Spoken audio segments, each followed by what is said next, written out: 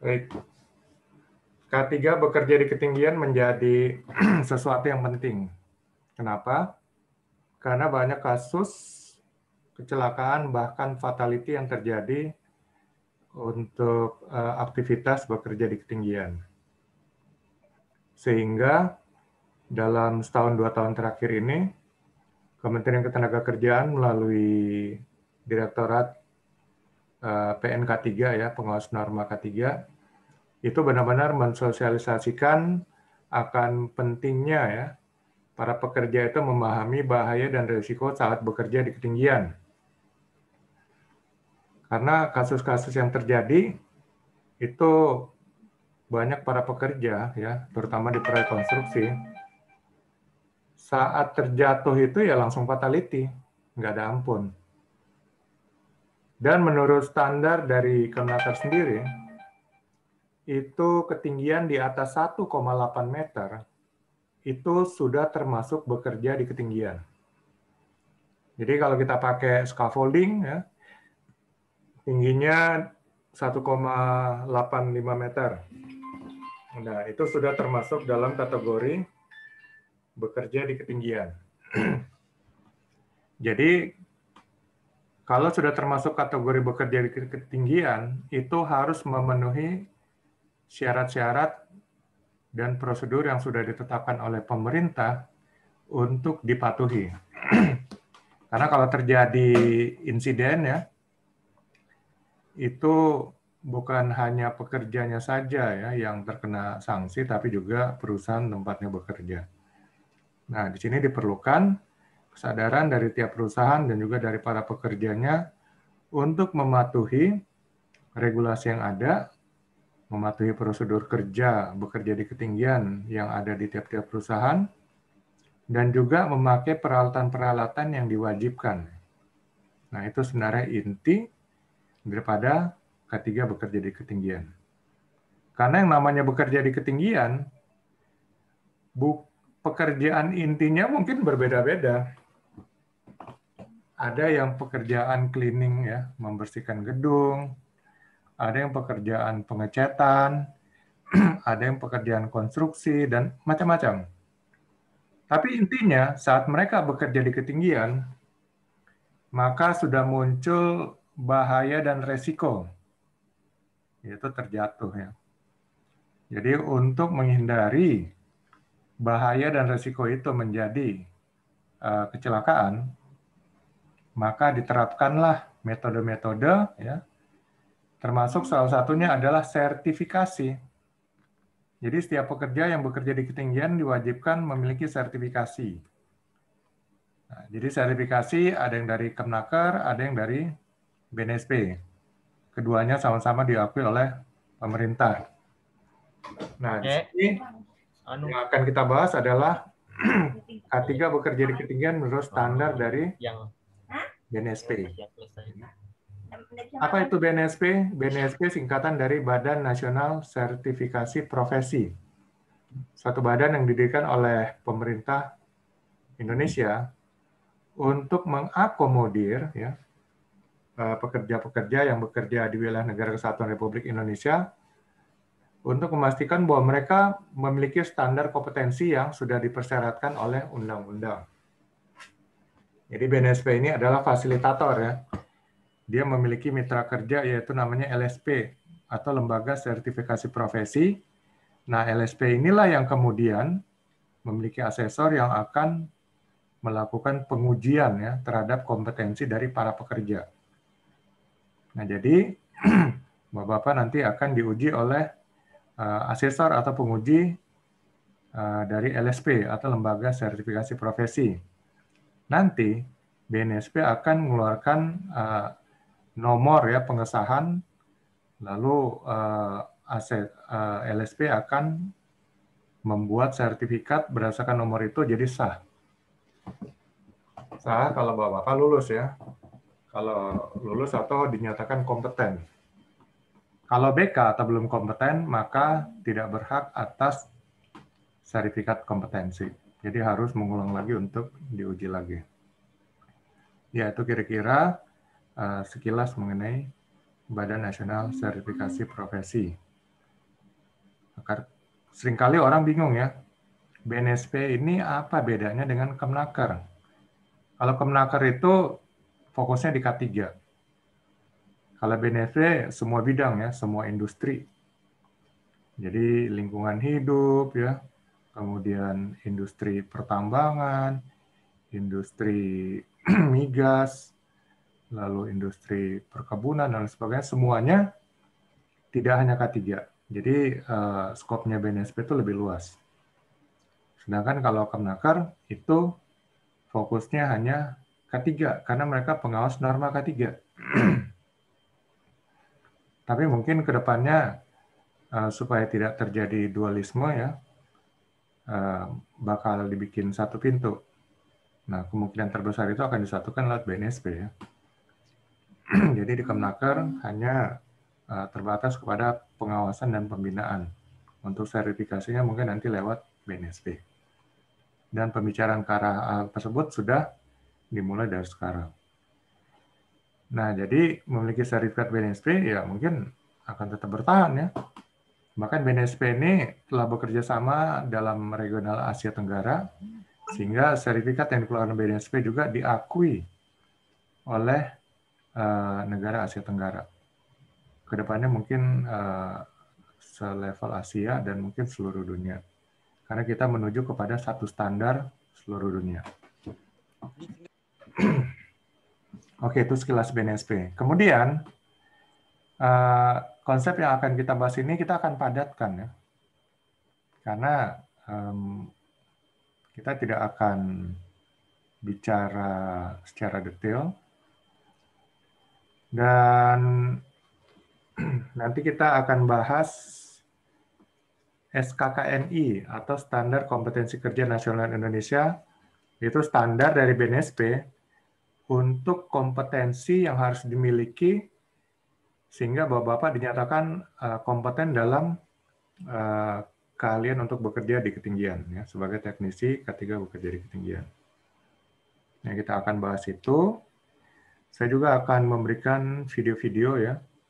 Karena kita di sini online sehingga tidak uh, apa tidak ada praktek sehingga untuk memperjelas prakteknya mungkin akan digambarkan lewat video. Dan video-video itu uh, saya kutip sumbernya dari YouTube. Oke, di sini kita akan lebih banyak diskusi dan kemudian kalau ada pertanyaan silakan langsung ditanyakan ya.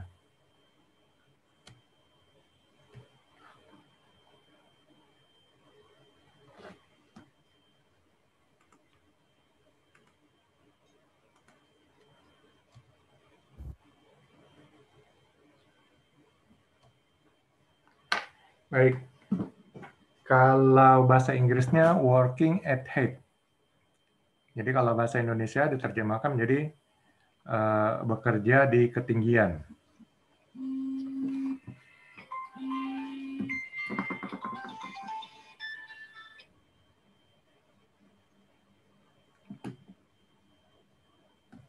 Uh, bekerja di ketinggian. Jadi artinya tadi saya sudah bilang standar di Indonesia adalah 1,8 itu ke atas sudah termasuk ketinggian. Sehingga harus mengikuti regulasi aturan yang ada yaitu uh, memakai alat pelindung jatuh ya. Dan kemudian uh, menerapkan prosedur bekerja di ketinggian. artinya adalah kita sama-sama berusaha mengurangi kecelakaan ya terkait pekerjaan bekerja di ketinggian. Karena yang namanya bekerja di ketinggian itu berbeda dengan bekerja di atas tanah ya atau di tempat yang datar. Jadi ah. tempat yang datar pun kita memiliki resiko-resiko ya. Resiko-resiko umpamanya terpukul, tertabrak dan sebagainya. Nah, itu semua juga ada di ketinggian. Iya. Tapi ditambah lagi dengan resiko jatuh. Nah, saat orang sedang bekerja, mengerjakan pekerjaan intinya, maka dia akan fokus. Nah, saat dia fokus, mungkin dia akan lengah ya, bahwa dia sedang berada di ketinggian. Ya, mungkin dia bisa terjatuh, terpeleset dan lain sebagainya. Nah, untuk menghindari hal tersebut, maka diperlukan peralatan uh, apa penahan jatuh. Lalu uh, prosedur bekerja sesuai dengan pekerjaan bekerja di ketinggian. Jadi itulah uh, tindakan preventif. Jadi K3 itu sebenarnya 90% adalah tindakan preventif atau pencegahan sehingga bahaya dan risiko itu tidak menjadi kecelakaan kerja. Namun sering kali penyebab kecelakaan kerja itu adalah orang-orang yang lalai. Orang-orang yang shortcut atau melanggar prosedur. Inilah yang dinamakan unsafe act perilaku tidak aman. Dan menurut penelitian dari H.W. Henry, ya, salah, seorang yang meneliti mengenai kecelakaan kerja ya tahun 1925 sampai 1930 bahwa unsafe act, unsafe condition itu menyumbang kepada 90% kecelakaan penyebab kecelakaan kerja. Nah, penelitian ini dilanjutkan oleh perusahaan DuPont ya, perusahaan yang terkenal eh, dalam penelitiannya tentang kecelakaan kerja. DuPont lebih ekstrim lagi mengatakan bahwa 96% penyebab kecelakaan kerja adalah unsafe act, unsafe condition. Artinya orangnya ya, unsafe itu perilaku tidak aman ya. Seperti tidak mengikuti prosedur ya, tidak memakai alat pelindung diri ya, melakukan shortcut prosedur, Lalu unsafe condition, kondisi tempat kerja yang tidak dibuat aman. Ya berarti berhubungan dengan orang juga.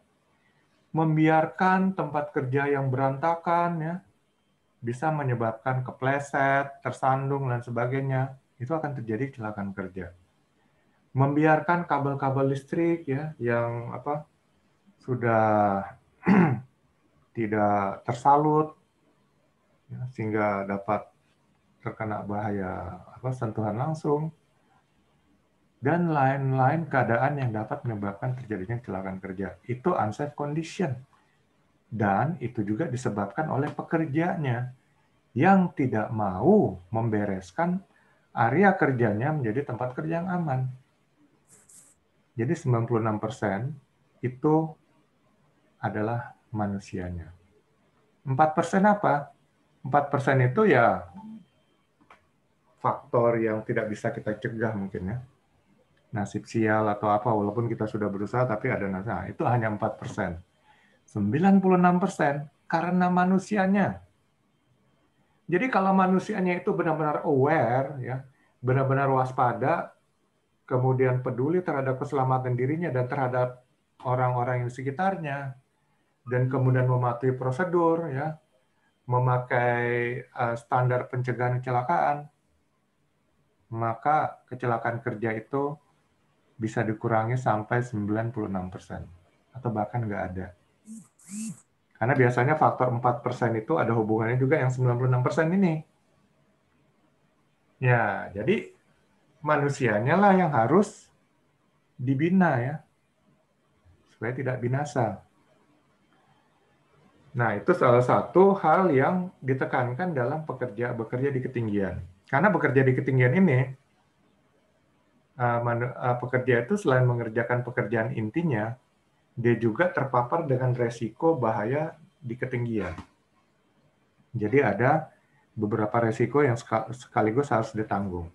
Untuk itu, selain pekerja sudah kompeten dalam pekerjaan yang dilakukan, ya, apakah mengelas, apakah melakukan pengecatan, pembersihan di gedung, ya, di tempat yang tinggi.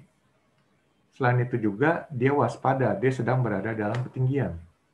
Maka konsep-konsep pencegahan kecelakaan ya, penahan jatuh, prosedur bekerja di ketinggian itu harus benar-benar diketahui. Ya, setelah tahu benar-benar dipahami. Ya. Bedakan antara tahu dengan paham. Paham itu berarti sudah mengerti ya, why, 5W ah, 1H. Why, what, when, where, sampai how-nya. Itu paham. kalau tahu mungkin hanya what-nya aja ya. Jadi sudah benar-benar tahu dan paham kenapa dia harus waspada saat bekerja di ketinggian. Kenapa dia harus memakai alat pelindung diri. Maka dia harus melakukan uh, alat pencegah jatuh. Mengapa dia harus mengikuti prosedur bekerja di ketinggian. Dia sudah paham. Nah, itu kesadaran. Dan itu harus dibuat menjadi suatu budaya. Jadi budaya itu sesuatu yang lebih tinggi lagi daripada paham. Jadi tahu, paham, dan kemudian melakukan. Do ya. Setelah melakukan, membiasakan. Jadi tahu, paham, melakukan, membiasakan, dan kalau sudah dibiasakan, itulah yang akan muncul budaya. Ya istrinya Pak Daya. Jadi tahu, paham, melakukan, membiasakan, dan itu akan terbentuk budaya. Budaya bekerja dengan aman. Nah, ini harus dilakukan berulang-ulang. Jadi kalau bapak-bapak ini melakukan dalam pekerjaan, uh, bekerja dengan aman, ya, mematuhi prosedur, memakai APD yang benar, dan itu terus-menerus dilakukan, pekerjaan apa pun yang dilakukan, itu tetap dalam pikiran lalu langsung muncul uh, bagaimana cara kerjanya dengan aman. Ya. Itu sudah jadi budaya. Awareness-nya itu sudah muncul ya. Begitu mengetahui suatu masuk ke satu lokasi, yang pertama yang dipertanyakan adalah uh, bahaya dan risiko apa yang ada tempat ini. Lalu bagaimana pengendaliannya? Itu budaya ketiga. Jadi nggak hanya langsung nyelonong langsung kerja tanpa uh, mengidentifikasi, memahami dulu bahaya dan resikonya. Itu biasanya orang-orang yang belum berbudaya K3. Jadi budaya itu harus dibentuk ya. ya sekarang tahu, paham, lakukan ya upaya-upaya keselamatan kerja, biasakan, dan itu budaya itu akan terbentuk dengan sendirinya. Kemudian apa manfaat dan tujuan daripada uh, bekerja di ketinggian? Ya, uh, bekerja di ketinggian ini sebenarnya adalah suatu pekerjaan, walaupun pekerjaan intinya bukan bekerja di ketinggian, ya pekerjaan intinya lain lagi. Tapi karena dia berada di, di ketinggian, maka bahayanya itulah disebut working at height jadi apa manfaat dan tujuannya? Ini dengan mengetahui bahaya dan resiko dari bekerja di ketinggian, maka seorang pekerja itu ya yang bekerja di ketinggian akan aware. Aware itu waspada. Ya. Kalau sudah aware waspada, dia akan berpikir bagaimana bekerja dengan aman dan selamat. Dan dia akan mencari cara ya alat pelindung diri dan sebagainya. Tanpa itu dia nggak akan mau bekerja. Jadi di sinilah bapak-bapak dibentuk awareness-nya.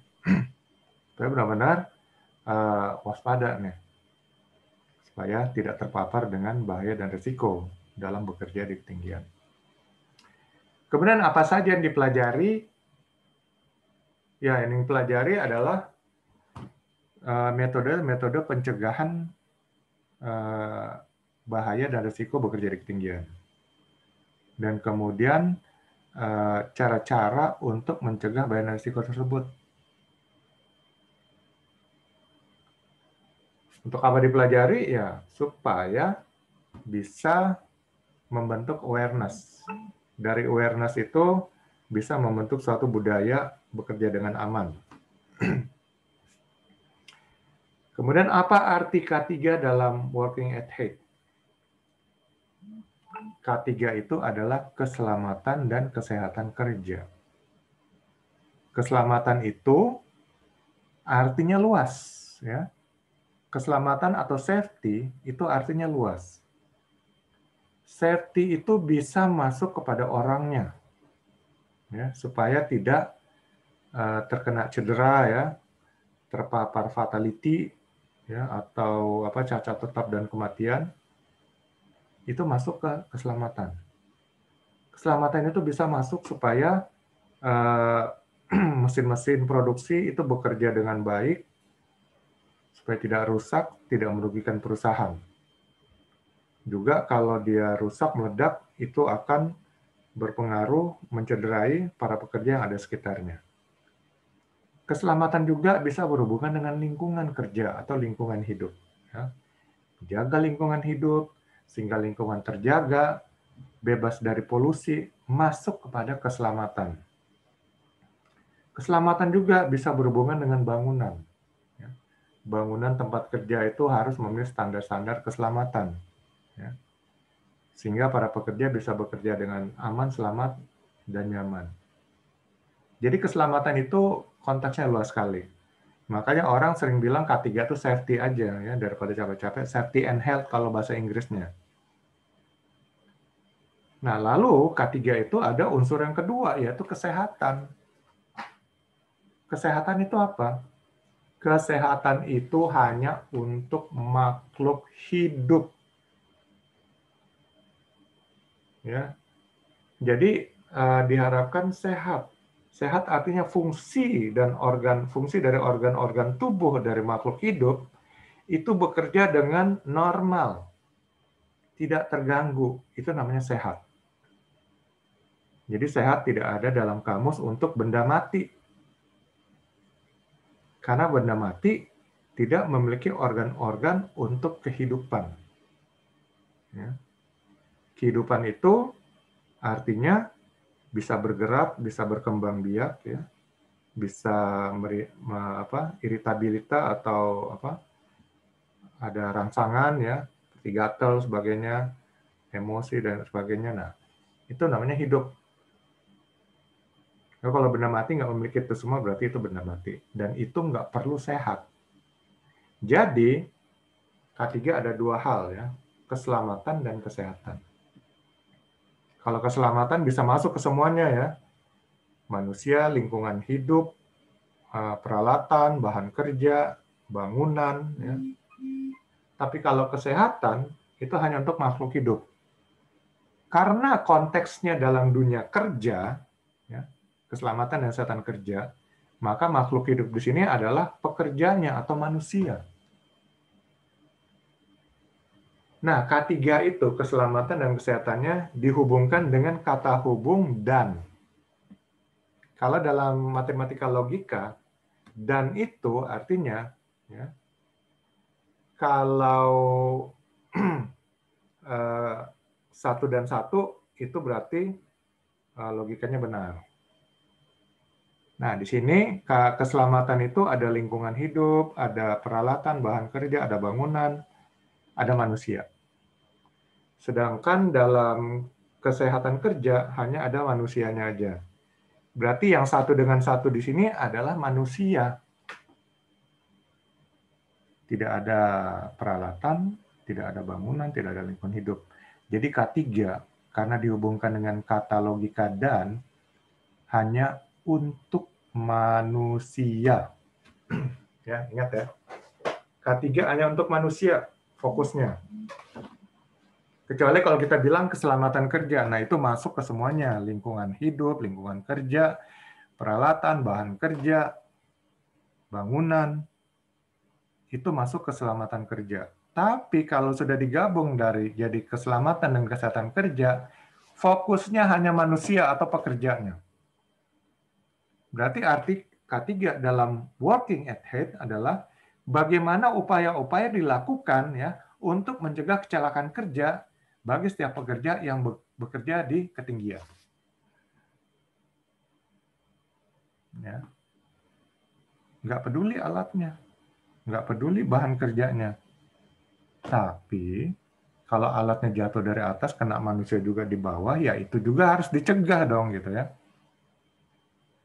Tapi intinya fokusnya adalah para pekerjanya. Oke, yang kelima, bahaya pengendalian pekerjaan inti dalam MUA. Jadi intinya di sini adalah uh, mungkin pekerjaannya melakukan pembersihan gedung atau pekerjaannya pengecatan atau pekerjaannya pengelasan dan sebagainya. Itu semua pekerjaan itu memiliki bahaya dan risiko sendiri. Ada SOP-nya sendiri. Tapi di sini juga ada bahaya lainnya, itu uh, bekerja di ketinggian. Nah, nanti antara dua pekerjaan ini digabungkanlah ya, sehingga pengendalian pekerjaan inti dan pekerjaan uh, bekerja di ketinggian itu sama-sama pengendalian bahaya dan risikonya bisa disatukan. Pengendalian mutunya bisa sama-sama disatukan, sehingga sembari mengerjakan pekerjaan mengecat, mengelas atau uh, membersihkan, ya, itu juga tetap memperhatikan uh, bahaya bekerja di ketinggian, sehingga semuanya terkendali dan semuanya bisa dikerjakan dengan aman, selamat, dan bermutu. Jadi intinya begitu ya, untuk kerjaan di ketinggian, faktor keselamatan adalah nomor satu tapi tetap memperhatikan pekerjaan intinya ya itu bisa dikerjakan dengan bermutu. Ngecat nggak ngecat asal-asalan, nanti al alasannya wah ini kan ketinggian, jadi maklum lah kalau ngecatnya nggak agak apa ada yang kecat, ada yang nggak. Oh nggak bisa kayak gitu. Walaupun di ketinggian, mutunya tetap juga harus dipertahankan. Ya. Ngelas asal-asalan. Ini kok ngelas nyambungnya nggak benar. Iya kan ini di ketinggian, Pak jadi maklum aja nggak bisa gitu ya. Jadi tetap bekerja di ketinggian, mutu pekerjaan itu tetap harus perhatikan. Jadi pekerjaan inti itu uh, ada bahaya dan risikonya, itu tetap perhatikan. Mutu pekerjaan dari pekerjaan itu juga harus tetap uh, di Kemudian identifikasi bahaya dan masalah dalam pekerjaan di ketinggian. Ya, masalah terbesar adalah bahaya uh, jatuh ya. Bahaya jatuh, lalu kita berpikir bagaimana uh, supaya nggak jatuh. Nah, gitu kan. Kalau sudah tahu bahayanya, pencegahannya bagaimana supaya nggak jatuh. Ya orang banyak sekarang cara ya. Dan yang sekarang hampir terstandarisasi adalah memakai alat pencegah jatuh seperti uh, body harness tapi body harnessnya juga harus dicantelin ya ke lifeline-nya. Jadi banyak sering kali sudah pakai full body harness dan kemudian terjatuh. Ya ada beberapa kasus dan akhirnya ya sama aja fatality. Jadi uh, kalau kita sudah terbiasa bekerja dengan aman, itu otak akan otomatis mengingatkan ya. Kalau kita belum terbiasa, bekerjalah dengan checklist. Oke, checklist uh, pakai full body harness. Kemudian pemasangan dengan benar. Lalu cek kerapihannya. Dan seterusnya ya, kita bikin aja sendiri. Dan terakhir, uh, itu jangan lupa dicantelin pengaitnya ke lifeline. Supaya itulah bentuk perlindungannya. Jadi kalau masih kita belum terbiasa, buat checklist untuk mengecek ya pekerjaan bisa dilangsungkan dengan aman, selamat. Kalau mau digabungkan dengan mutu pekerjaan, eh, boleh juga. Sehingga kita nggak ada yang miss atau nggak ada yang terlewat. Nah, kalau kita sudah lakukan tiap hari, itu otak akan langsung menyimpan semua memorinya. Ya. Tapi mungkin butuh waktu uh, lebih dari 10 kali baru kita benar-benar uh, sudah menghafal semuanya ya. Tapi sebelum kita uh, benar-benar hafal seluruhnya, ya kita pakai checklist saja. Itu salah satu uh, cara yang efektif. Tapi kalau kita mau lebih safe, tetap pakai checklist umur hidup. Karena apa? Mengandalkan daya ingat itu beresiko. Mungkin ada yang kita lupa ya. Salah satu item kita nggak cek. Kita lupa dan itu sebenarnya item yang termasuk yang inti. Jadi mendingan bekerja dengan checklist lah. Lalu analisa resiko dalam uh, working at height. Jadi bedakan ya antara bahaya. Bahaya itu adalah potensi yang dapat menimbulkan kerugian. Ya. Kemudian kerugiannya itu yaitu resikonya atau dampak dari bahayanya. Jadi setelah kita identifikasi bahayanya, ya, bahaya terjatuh, kita analisa resikonya. Resikonya adalah mungkin kematian. Karena 95% ya orang yang jatuh dari ketinggian itu terutama yang di atas 10 meter ya, itu pasti mati. Yang kedua, kalaupun nggak mati mungkin patah tulang ya atau cedera berat, geger otak dan sebagainya. Yaitu resiko-resiko dalam uh, akibat daripada bahaya bekerja di ketinggian. Nah, kalau kita sudah tahu resikonya, bagaimana pengendalian? Jadi yang kita kendalikan itu adalah resikonya.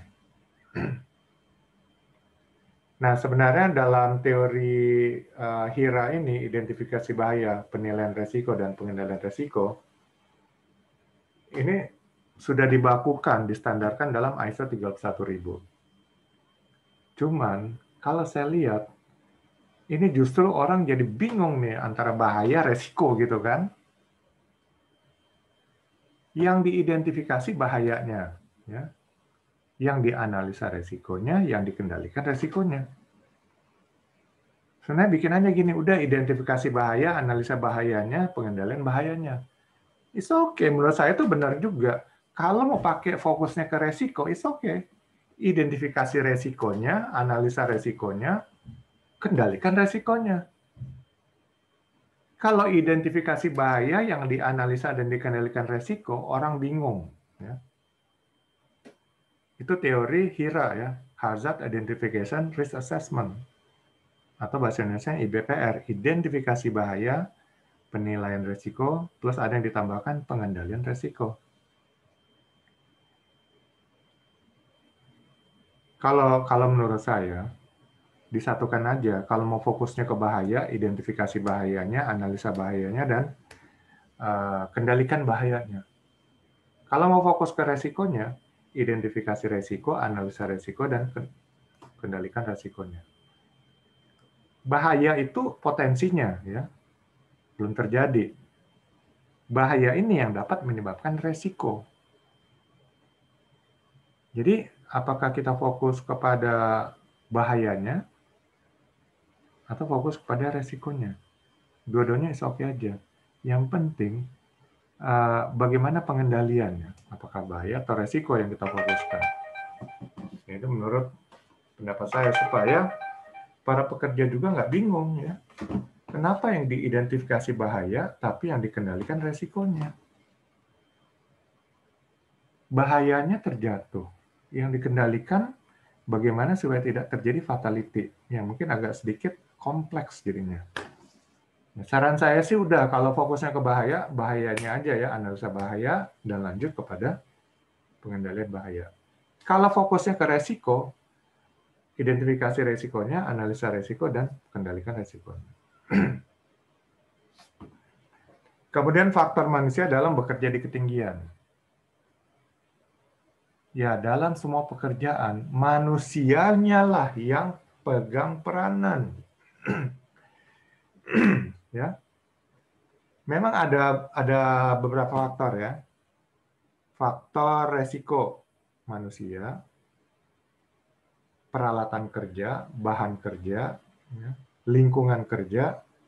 Kalau mau ditambahkan mungkin ada lagi metode kerja. Tapi semuanya kan yang kendalikan manusia sehingga 99% peranan manusia itu sangat krusial sangat penting. Peralatan kerja yang kendalikan manusia, yang ciptakan manusia. Bahan kerja, ya, bahan baku uh, produksi, bahan kerja, itu juga yang buat manusia, yang kendalikan manusia. Lingkungan kerja, emang bukan manusia yang buat, tapi yang menata lingkungan kerja adalah manusia. Ya, yang mengelola lingkungan kerja adalah manusia. Kemudian metode kerja manusia juga yang buat. Jadi faktor manusia ini menurut saya ya 90 95 lah daripada ekstrim 99 persen ya. Itu sangat menentukan dalam pekerjaan ya. Eh, apakah pekerjaan bisa dilaksanakan dengan aman, selamat, bermutu, atau tidak. Semuanya faktor manusia. Jadi manusianya yang perlu dibimbing ya, dibina, dikelola dengan baik, diatur. Itu sebabnya manajemen itu sangat penting ya. Pengaturan tanpa diatur, maka segala pekerjaan tidak akan bisa uh, apa di, diprediksi hasilnya ya. Iya, kita uh, melakukan manajemen supaya bisa memprediksi, oke okay, tahun ini kita akan produksi sekian ya, angka kecelakaan kerja kita turunkan sekian itu karena kita manajemen. Tanpa manajemen, kita nggak akan bisa prediksi segala sesuatu. Jadi manajemen sangat penting. Dan salah satu yang perlu diupayakan dalam manajemen yang berhasil dari perusahaan adalah faktor manusianya. Faktor alat juga penting ya. Nah, di sini faktor alat ya bagaimana uh, pengecekan alatnya supaya alat yang dipakai itu dalam kondisi yang layak pakai ya. Bagaimana pemeliharaan alatnya ya bagaimana operator yang menggunakan alat, apakah dia sudah pahami dengan benar dan harus diberikan pendidikan dan pelatihan dulu agar bisa menggunakan alat dengan benar dan sebagainya. Alat sangat penting. Alat itu akan membantu manusia mengerjakan sesuatu dengan efektif. Ya. Sehingga alat akan membuat efisien dan efisien itu dalam manajemen perusahaan sangat penting efisiensi. Artinya penghematan sumber daya. Dan ini berhubungan dengan profit bagi perusahaan. Kalau segala sesuatu tidak efisien, akibatnya perusahaan nggak akan mendapatkan profit. Perusahaan nggak profit, gayar gaji, ter, gayar gaji pekerja tersendat. Jadi alat harus di-maintain, ya, dipelihara supaya awet, sehingga efisien bagi perusahaan. Kemudian faktor lingkungan lingkungan yang tidak dijaga, tidak dirawat dengan benar juga merupakan faktor resiko ya. Akan dapat menyebabkan terjadinya uh, kecelakaan kerja, hambatan pekerjaan, kerugian bagi perusahaan ya. Lalu apa konteksnya dalam pekerjaan di ketinggian? Kalau manusianya sudah benar-benar paham ya berbudaya K3, maka dia akan bisa bekerja dengan aman, selamat, dan tidak akan terjadi kecelakaan kerja. Alat dalam pekerjaan di ketinggian itu akan sangat membantu ya, sehingga uh, di maintain dengan benar akan bisa membantu menghasilkan pekerjaan yang bermutu walaupun bekerja dalam ketinggian. Faktor lingkungan ya. Jadi lingkungan juga harus waspadai saat bekerja di ketinggian. Kalau memang cuacanya hujan, hujan itu artinya ada potensi petir dan kilat. Petir dan kilat itu sangat berbahaya karena bekerja di ketinggian, memakai scaffolding, scaffolding dari bahan metal. Apabila disambar di ujung sana, dia akan uh, apa? Uh, dampak listriknya ya, kelistrikan daripada petir dan kilat ini akan menjalar sampai ke ujung satunya lagi. Dan apabila pekerja bersinggungan ya dengan scaffolding itu dia akan terpapar dengan listrik yang berasal daripada kilat dan petir. Jadi harus perhatikan juga ya, dan mungkin harus dimasukkan dalam SOP.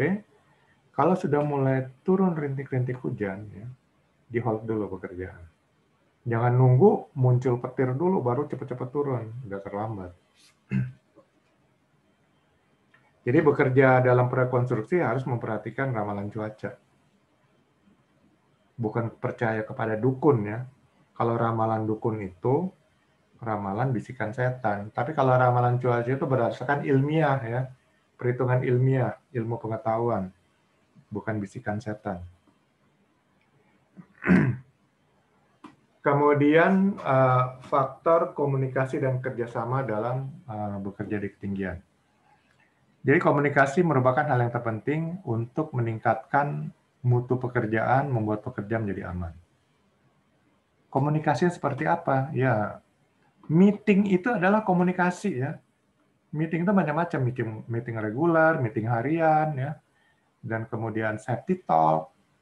Itu bagian dari komunikasi. Sehingga uh, bisa juga ada membentuk kerjasama. Karena kalau nggak dikomunikasikan uh, dulu, yang satu ngerjainnya ke kiri, yang satu ke kanan. Akhirnya nggak nyambung. Pekerjaan jadi terhambat, ya rugi waktu, rugi materi, rugi tenaga. Jadi komunikasi sangat penting, ya, terutama dalam bekerja ketinggian, utamanya dalam keselamatan. Jadi salah satu komunikasi adalah mensosialisasikan SOP. Sehingga semua pekerja itu menyadari cara bekerja di ketinggian dengan aman dan selamat. Apa yang harus dipakai, apa yang harus dihindari, dan sebagainya. Itu bagian dari komunikasi. Jadi komunikasi juga dengan pengawas ya, sehingga uh, selalu ada hubungan yang apa efektif untuk menghindari kecelakaan kerja. Lalu metode kerja. Nah, metode kerja ini jangan main copy paste aja punya tetangga atau punya perusahaan lainnya. Jadi ini benar-benar harus disimulasikan cocok nggak dipakai di dalam pekerjaannya ini. Jadi simulasikan ya, brainstorming, sehingga mungkin ada bagian-bagian yang perlu dirubah dan sebagainya. Nah, semua ya. Jadi metode kerja jangan murni full copy paste, tapi benar-benar dipelajari dulu brainstorming ada bagian yang perlu ditambah, ada yang perlu dihilangkan, dan sebagainya. Sehingga eh, metode kerja yang termasuk SOP, checklist, dan sebagainya itu sudah benar-benar efektif, tepat untuk pekerjaan yang akan dilakukan. ya Terutama pekerjaan di ketinggian. Kemudian faktor pengawasan. pengawasan adalah hal yang penting. Karena apa? Karena pengawas akan melihat kekurangan-kekurangan yang ada pengawas akan melihat, eh, itu ya, uh, body harnessnya belum kamu pakai dengan benar. Gitu. Jadi pengawas akan membantu melihat uh, kekurangan-kekurangan ada, kelemahan-kelemahan yang ada, sehingga uh, pekerjaan bisa berjalan dengan aman dan selamat. Utamanya juga pengawas akan lihat pekerja yang malas gitu kan sehingga akan pekerjaan jadi efektif bagi perusahaan.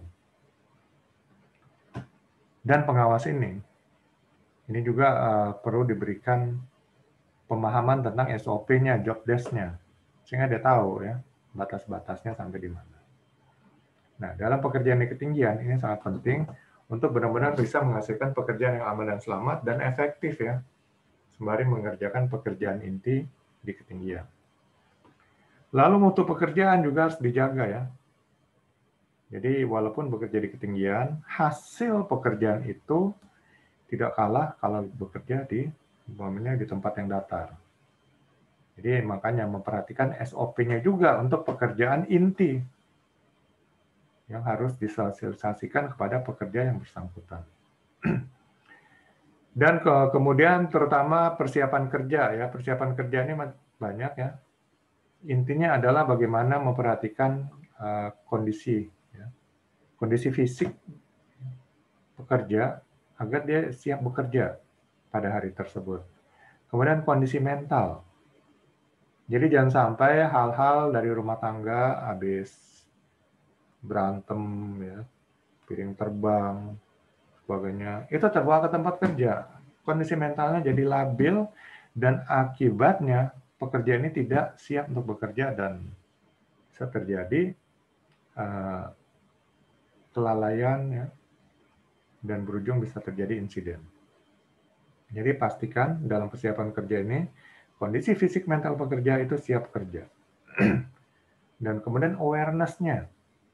Ya, perlu mungkin di briefing lagi ya, 5 minute talks, ya, pre-start meeting, sehingga bisa membangun semangat kerja yang apa, yang efektif dari para pekerja. Kemudian semua peralatan semua siapin, ya. Peralatan-peralatan itu perlu dicek juga. Nah, peralatan ini layak pakai atau enggak. Scaffoldingnya dicek lagi ya. Jangan ada yang miring, ada yang bengkok, dan sebagainya.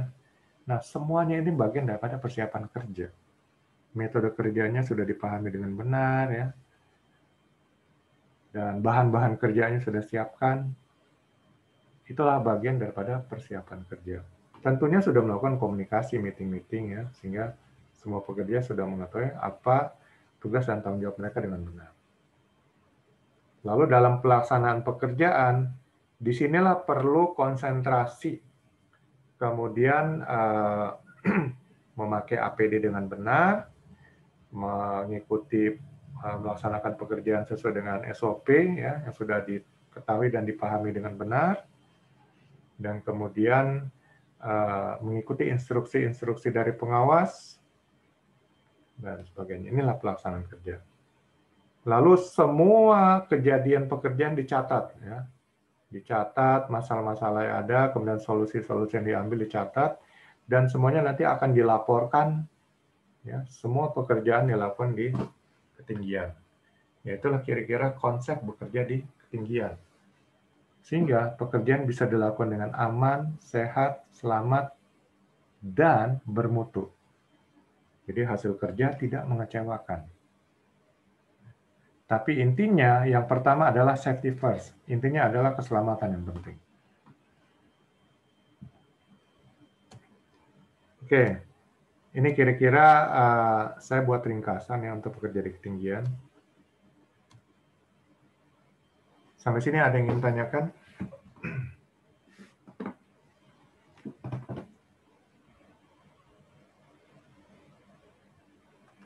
Bekerja di ketinggian. Ini bekerja pada ketinggian atau working head adalah definisinya ya. Pekerjaan yang membutuhkan pergerakan tenaga kerja untuk bergerak secara vertikal ya. Itu vertikal berarti naik turun ya, naik maupun turun dari satu platform pada ketinggian di atas 2 meter dari tanah. Jadi uh, pokoknya sudah di atas 2 meter, itu namanya bekerja di ketinggian. Nah, kalau standar Kemenaker adalah 1,8, itu sudah termasuk bekerja di ketinggian. Jadi sebenarnya selain bekerja naik turun, apa pergerakan secara horizontal juga ya ini harus ditambah nih, secara vertikal maupun naik turun maupun horizontal. Nah, di bekerja di ketinggian ada yang memakai sistem akses tali. Occupational Rope Access atau kalau di Kemenaker namanya TKBT. Eh, sorry, TKPK. Tenaga kerja pada ketinggian. Ya, ini pekerjaan yang lebih berbahaya. Kalau di sini teknisi K3 bekerja ketinggian, ini hanya fokus kepada kalau di Kemenaker namanya TKBT, tenaga kerja bangunan tinggi. Artinya memakai platform atau pijakan. Tapi kalau akses tali, kalau di Kemenaker TKPK, tenaga kerja pada ketinggian, itu nggak, nggak ada platform ya. Jadi full menggunakan akses tali, naik turun. Jadi kalau pakai platform ya berarti bekerja di atas suatu scaffolding ya, ada tempat pijakannya. Nah, ini nggak akan dibahas sebenarnya di sini ya. Akses tali, karena di SKKNI di BNSP-nya nggak, nggak ada membahas me, apa mensyaratkan untuk kompetensi ini. Jadi kalau akses tali ini pekerjaan naik turun sisi gedung, tower, jembatan ya. Pekerjaan pada ketinggian pada posisi horizontal di atas atap bangunan, pekerjaan di ruang terbatas seperti di tangki, silo, dan pekerjaan pemanjat pohon, panjat tebing, dan lain-lain. Semuanya menggunakan akses tali atau rope access.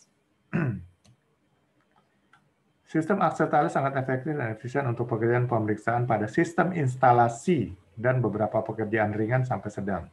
Pada posisi yang sulit dan yang membutuhkan kecepatan. Gedung-gedung sekarang sudah banyak nggak pakai gondola, karena gondola itu biaya pemeliharaannya tinggi ya, kemudian berat, membebani gedung dan sebagainya, dan pekerjaannya agak lebih lama. Sekarang para pembersih gedung bertingkat ya biasanya pakai akses tali. Jadi lebih cepat ya. Lebih cepat dan lebih lebih efisien ya lebih murah dibandingkan daripada memakai uh, gondola. Siapa yang berisiko di sini? Ya, semua orang ya di tempat kerja itu, baik pekerja, supervisor, tamu, semua mempunyai risiko cedera yang diakibatkan atau kegiatan pekerjaan. Ya. Untuk pekerjaan di ketinggian ini seperti perawatan, pembersihan jendela, ya, konstruksi, Lalu bekerja di tepi lantai atau atap yang tidak ada pelindung jatuh, ya. bekerja pada lantai atau atap yang rapuh, dan bekerja di mana peralatan atau material bisa jatuh dan mengenai orang di bawahnya. Ini resiko-resiko uh, pekerjaan di ketinggian. Nah, empat risiko utama ya orang berhubungan dengan pekerjaan pada ketinggian. Pertama jatuh, atau yang di bawahnya itu kejatuhan benda atau objek yang dari atas. Kemudian jatuh dari struktur dari struktur atau roboh ya, strukturnya bangunannya roboh atau menyentuh kabel listrik bertegangan. Jadi di ketinggian itu juga ada mungkin kabel-kabel listrik, ya itu juga resiko ya bekerja di ketinggian. Ya, ini utamanya ya, jatuh dari ketinggian. Atau bangunannya rubuh. Atau listrik. Ya. Nah, ini juga. ini bahaya sekali nih. Tidak memenuhi unsur safety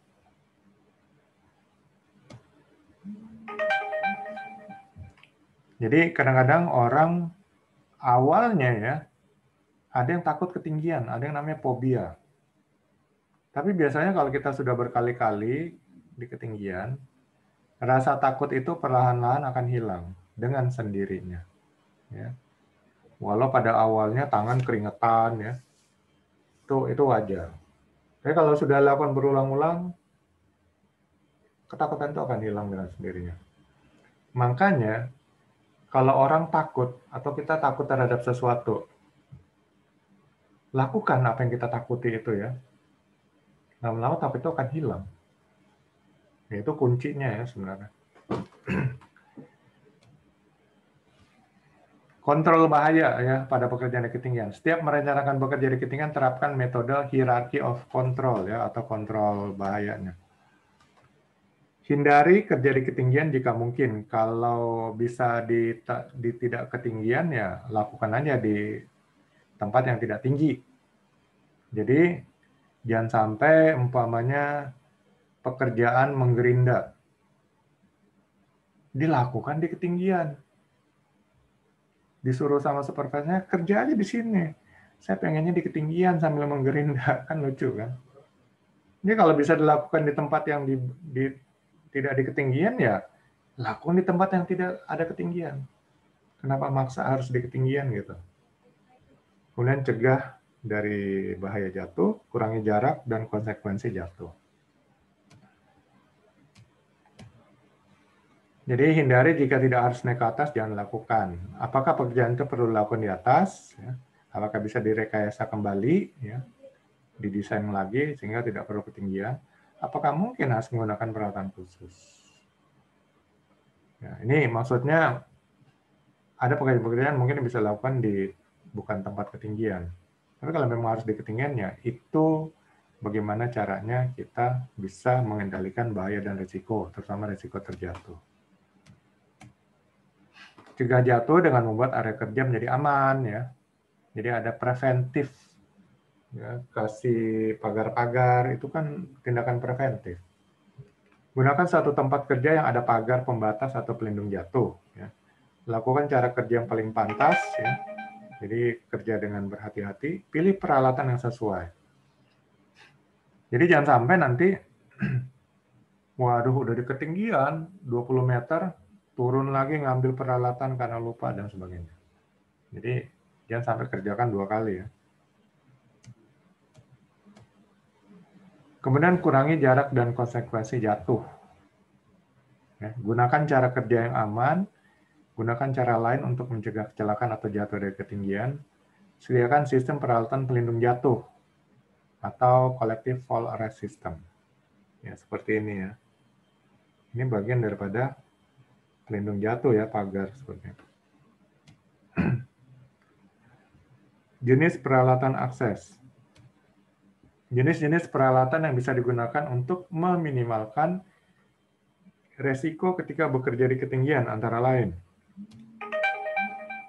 tangga, perancah atau scaffolding, atau mobile elevation working platform. Ya, ini. Ini mobile elevation working platform. Ini tangga. ada tangga step ladder, ada leaning ladder. Ini step ladder. ini harus disandarin, ya, leaning ladder. Menggunakan tangga dengan aman ya. Mencegah dari tergelincir, mencegah tangga tidak bergerak setiap menaiki anak tangga berikutnya, lalu cukup aman selama dipakai untuk bekerja, memiliki atau tersedia pegangan untuk memungkinkan ya pekerja mempertahankan tiga titik kontak. Jadi saat, saat kita naik tangga ingat ingat ya kita harus ada tiga titik kontak. Dua tangan, dua kaki berarti ada empat. Nah, jadi saat kita naik dengan satu kaki, ini tangan menggenggam dan kaki satu sebagai pijakan. Jadi selalu ada tiga titik kontak.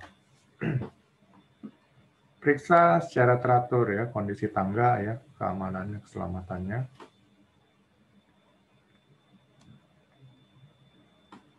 Menggunakan tangga dengan aman. Ini jangan ya. Ini tidak stabil posisinya. Ini yang benar. Ini juga salah. Jadi posisi tubuh harus lurus.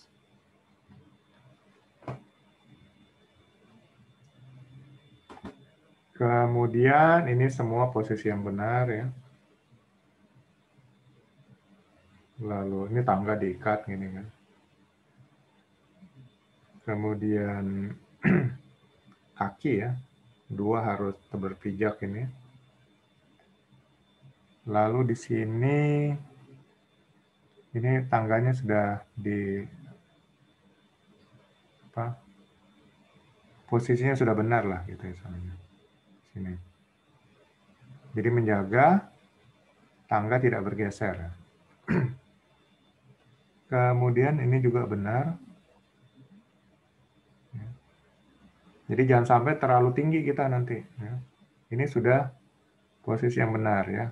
Masih ada tiga trap di atasnya Lalu ini bentuk sandaran yang benar membentuk uh, sudut siku-siku. Dan sudut kemiringannya ini tidak melebihi uh, tidak ber, tidak kurang dari 45 derajat.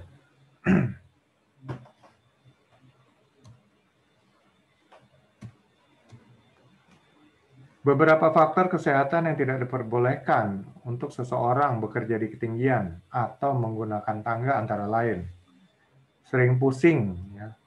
Jadi kalau lagi pusing atau sering pusing, mendingan hindari bekerja di ketinggian atau uh, memakai tangga. Tapi kalau pusing banyak utang, ya itu nyembuhinnya gampang. Lunasin dulu utangnya, maka pusingnya akan hilang atau epilepsi. Ini penyakit ayan ya atau kejang-kejang. nah itu nggak boleh ya bekerja di ketinggian atau menaiki tangga. Jadi nanti supervisor harus meyakinkan bahwa setiap pekerja yang bekerja di ketinggian atau menggunakan tangga itu tidak memiliki penyakit ayan atau epilepsi. Lalu fobia, takut ketinggian fobia ini ketakutan yang mungkin bawaan dari orok ya, bawaan dari kecil atau trauma dari kecil sehingga terbawa hingga dewasa. Nah ini kalau yang fobia takut ketinggian, jangan deh kerja di ketinggian. Karena dia bisa mati berdiri di ketinggian gitu. Takut terus nggak, sehingga nggak bisa bergerak gitu. Kemudian ada yang gangguan pernafasan atau paru-paru ya umpamanya sakit asma atau apa jangan ya. Karena makin tinggi ke atas itu oksigen tuh makin tipis. Ngerinya pas di atas gitu dia akan menderita uh, asmanya kambuh gitu. Kemudian gangguan fungsi sendi. Jadi uh, sendi kaki ya tidak berfungsi dengan benar atau tangan itu akan mengganggu dan bisa menghilangkan konsentrasi saat sedang bekerja di ketinggian atau dalam pengaruh alkohol atau penyalahgunaan obat.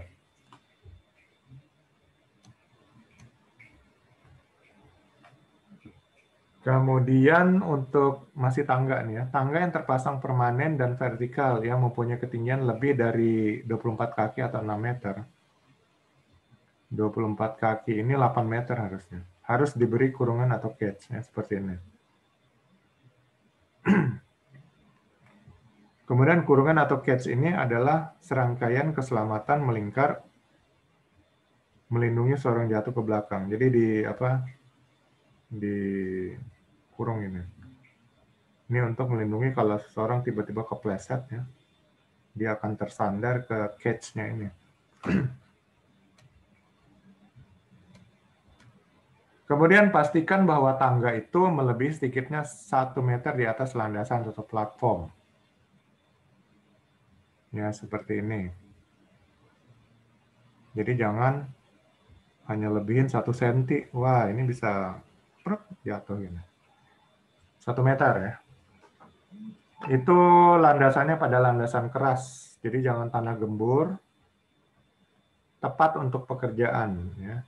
Jadi kerjanya di sini, tangganya taruh di sini, ya salah gitu kan. Kemudian tempatkan tangga pada sudut uh, 75 derajat atau 4 banding 1 terhadap struktur. Ini 4 banding 1. Ya, atau sudutnya 75 derajat. Ya. Jadi jangan sudut tumpul ya, atau sudut uh, lancip, sorry di bawah 75, maksudnya itu nanti ke keseimbangannya tidak terjaga dengan baik. Kemudian tidak mendirikan tangga di bawah atau dekat dengan kabel listrik bertegangan. Jadi jangan sampai ini kabel listrik ya. Biasanya kalau kabel tegangan tinggi itu nggak pakai nggak pakai pelapis PVC, langsung kabel telanjang. Jangan deketin dengan tangga, apalagi tangga aluminium gitu. Kemudian pelindung selanjutnya bekerja di ketinggian adalah pembatas atau guardrail, ya, seperti ini.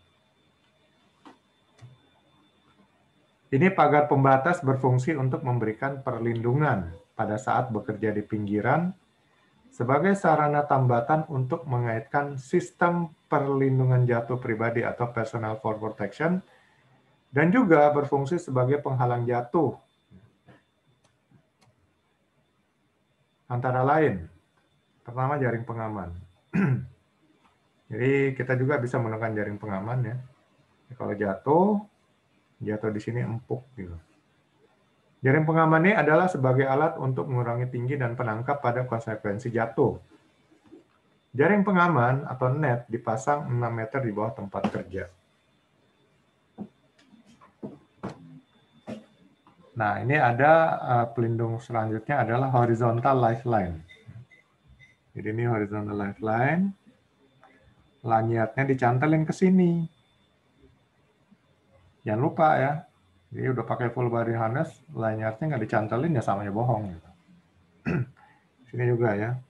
Dicantelin ke lifeline-nya. Sini.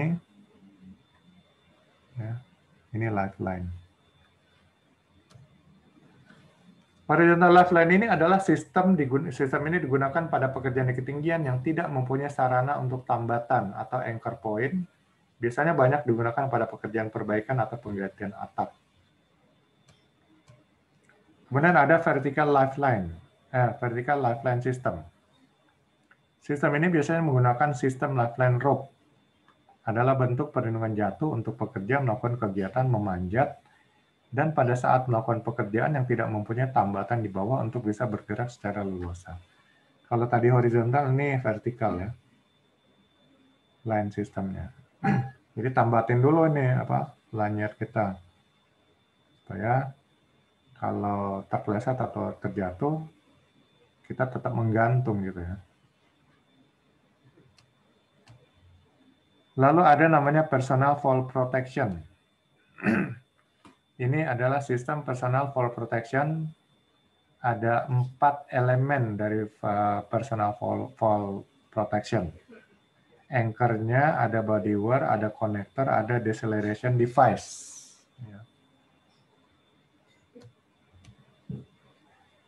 Kemudian fall arrest harness. Ini uh, body harness di apa dilingkarkan ke seluruh tubuh ya. dapat di setel atau di jas, mampu menahan beban dinamis, mempunyai pengait belakang standar, dan pengait depan opsional.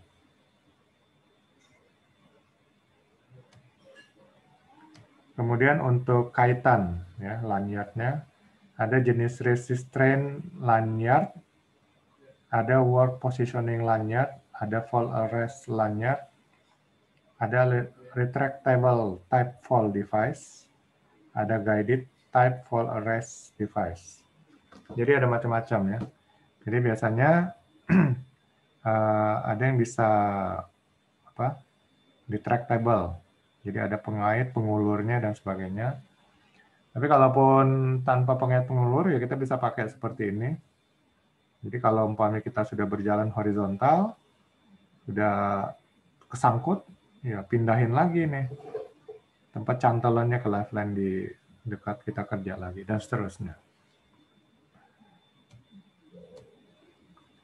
Kemudian untuk fall arresternya ada jenis rigid lifeline, ada flexible lifeline. Kalau rigid ini biasanya untuk dipasang permanen, kalau fleksibel ini untuk temporer. Ya. Jadi temporer bisa dipindah-pindahin. Ya ini salah satu bentuk body harness ada banyak ya jenis body harness. Kemudian ini konektor ya, atau disebut juga carabiner. Ini adalah metal pengunci sebagai penghubung antara alat fall protection system. Ada banyak jenis dan tipe konektor. Pastikan bahwa konektor yang digunakan sudah benar. Kemudian descender. Ini adalah alat bantu turun yang ditempatkan pada tali dan dicantolkan pada rescuer. Ada jenis figure of eight, auto stop, in panic descender. Jadi nanti saat turun dia akan kunci, lalu kalau kita ini apa uh, tekan lagi tombolnya dia akan turun jadi pelan-pelan. Ascender nih untuk naik, alat adalah alat bantu naik atau pemanjatan melalui tali sebagai jalur. Sistem kerjanya ada gerigi mencengkram tali untuk menahan saat terbebani dan bergeser jika didorong. Jadi naiknya bisa pelan-pelan ke atas. Nah ini sih biasanya akses tali ya, tapi nggak apa-apa kita bahas juga di sini. Lalu ada tali tali temali yang dapat membantu juga untuk pekerja-pekerja bekerja di ketinggian. Nanti ada videonya ya, sehingga bisa memahami cara membentuk tali temali. Ini jenisnya namanya uh, ikatan overhand knot. Lalu yang ini namanya figure eight knot. Membentuk huruf 8. Figure eight on bite. Ya. Membentuk 8 tapi ada moncongnya ke sini. Ada figure eight follow through ya hampir mirip dengan byte tadi. Lalu ada 8 online knot atau 8 online knot. Ya, seperti ini. Ada jenis butterfly atau kupu-kupu. Ada yang namanya cloth hitch. Ya, ini petunjuk cara ngikatnya. Ada bowline, ada double fisherman. Ya, ini ini dianggap fisherman ya, nelayan. Dia double fisherman. Kalau yang pramuka pasti pernah belajar tali temali lah. Ada yang water knot. Ini cara ngikatnya. Oke, ini sekilas mengenai materi bekerja di ketinggian. Uh, nanti mungkin diberjelasnya ada video cara memakai full body harness ya, peralatan-peralatan bekerja di ketinggian. Karena di sini online saya nggak bisa nunjukin langsung, jadi saya pakai video saya apa ambil dari YouTube. Ya. Sebelum kita masuk ke video, kita akan bahas dulu SKKNI. Jadi ini standar kompetensinya yang harus Bapak-Bapak kuasai, karena nanti diuji berdasarkan ini, ya, standar kompetensi kerjanya. Ada tujuh unit kompetensi. ya. Jadi ini satu unit kompetensi. Yang pertama ini membantu pemenuhan perundang-undangan keselamatan dan kesehatan kerja K3 dan persyaratan lainnya bekerja pada ketinggian. Jadi regulasi peraturan perundang-undangan K3. Nah, ini yang unit kompetensi pertama. Nanti unit kompetensi itu dibagi atas elemen kompetensi. Elemen kompetensi dibagi atas kriteria unjuk kerja. Nah, di unit kompetensi yang pertama ini mengenai apa regulasi peraturan perundang-undangan ada dua elemen kompetensi ya. yaitu menyiapkan perundang-undangan K3 dan persyaratan kerja lainnya pada ketinggian. Yang kedua, melaksanakan pemenuhan perundang-undangan K3 dan persyaratan kerja lainnya pada ketinggian. Jadi, uh, tetap mengacunya adalah peraturan perundang-undangan K3 plus persyaratan lain. Mungkin ada regulasi lainnya tergantung pekerjaan intinya apa di ketinggian itu. Itu harus diikutin ya. Untuk pekerjaan di ketinggian ini, eh, K3-nya kita ngacu ke Permenaker nomor 9 tahun 2006 ya, mengenai K3 bekerja ketinggian. Jadi nanti silakan buka-buka lagi. Tapi kalau nggak ada cukup waktunya ya, yang penting sudah tahu lah konsep keselamatan yang diharapkan pemerintah agar kita bisa bekerja dengan aman eh, saat bekerja di ketinggian. Kemudian unit kompetensi yang kedua mengidentifikasi potensi bahaya atau hazard di uh, saat bekerja di ketinggian.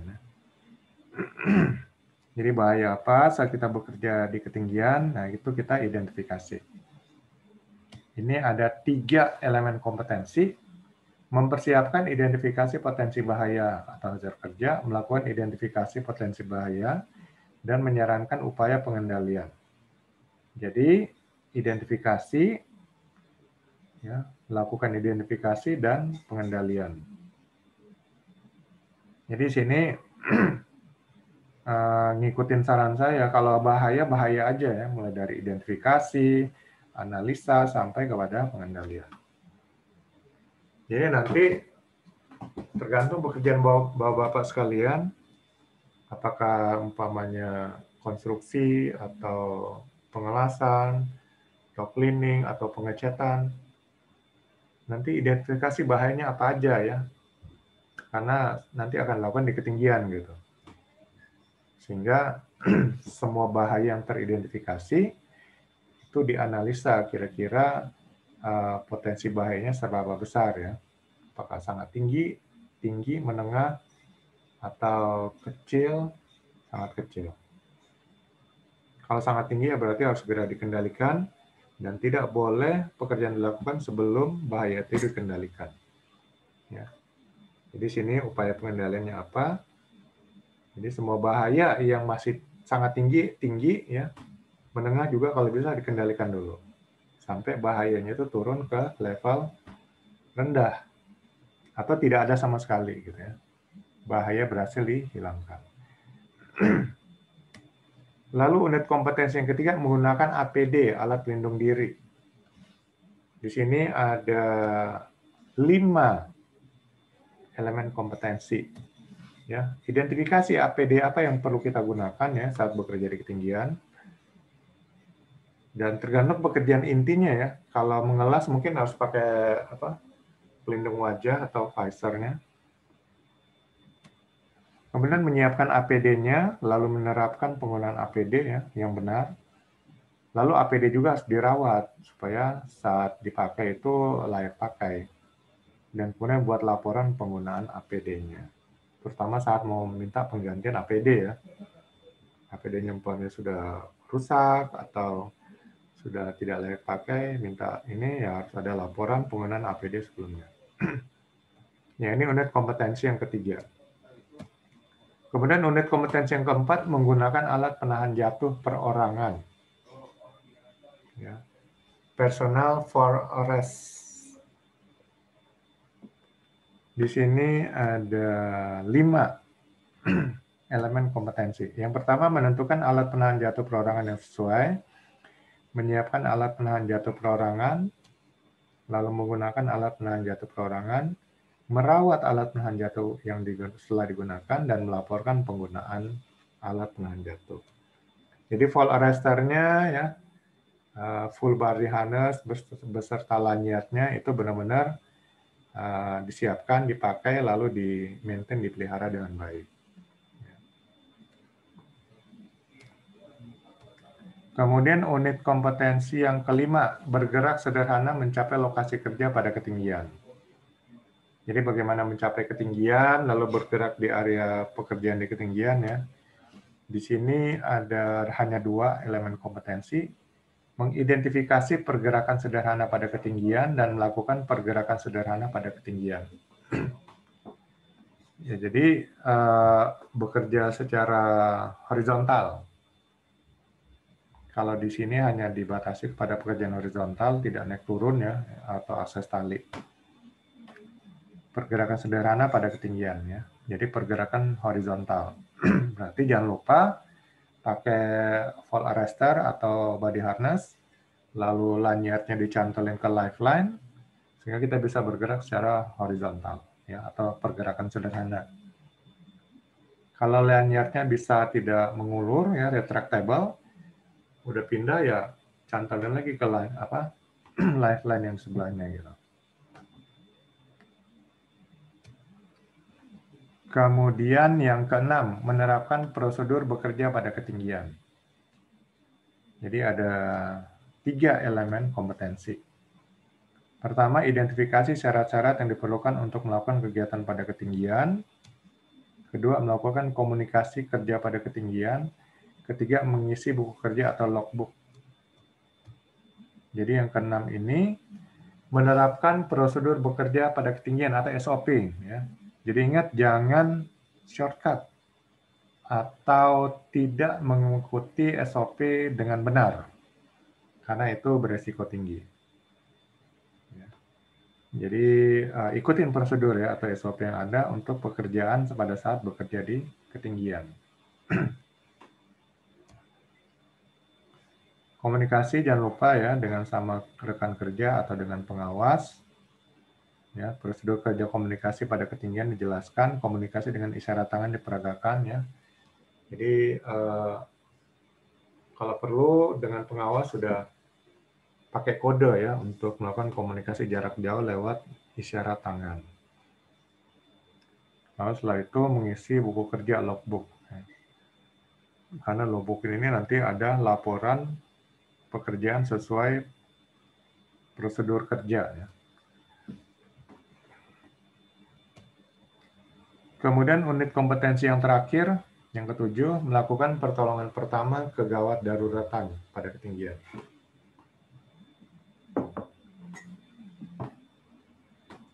Unit ini berhubungan dengan pengetahuan, keterampilan, dan sikap kerja yang dibutuhkan dalam melakukan pertolongan pertama kegawat daruratan atau PPGD pada ketinggian. Ini ada tiga elemen kompetensi. Menilai situasi kegawat daruratan, mencegah memburuknya keadaan, dan melaporkan kegawat daruratan. Jadi gawat darurat itu atau peristiwa emergensi itu adalah peristiwa yang harus dilakukan penanganan dengan, dengan cepat dan tepat. Karena kalau tidak dilakukan penanganan dengan cepat dan tepat, situasinya akan bertambah parah dan menimbulkan korban. Jadi dalam bekerja di ketinggian, situasi gawat darurat itu mungkin adalah uh, platformnya retak atau scaffoldingnya bengkok dan sebagainya itu situasi situasi gawat darurat ya.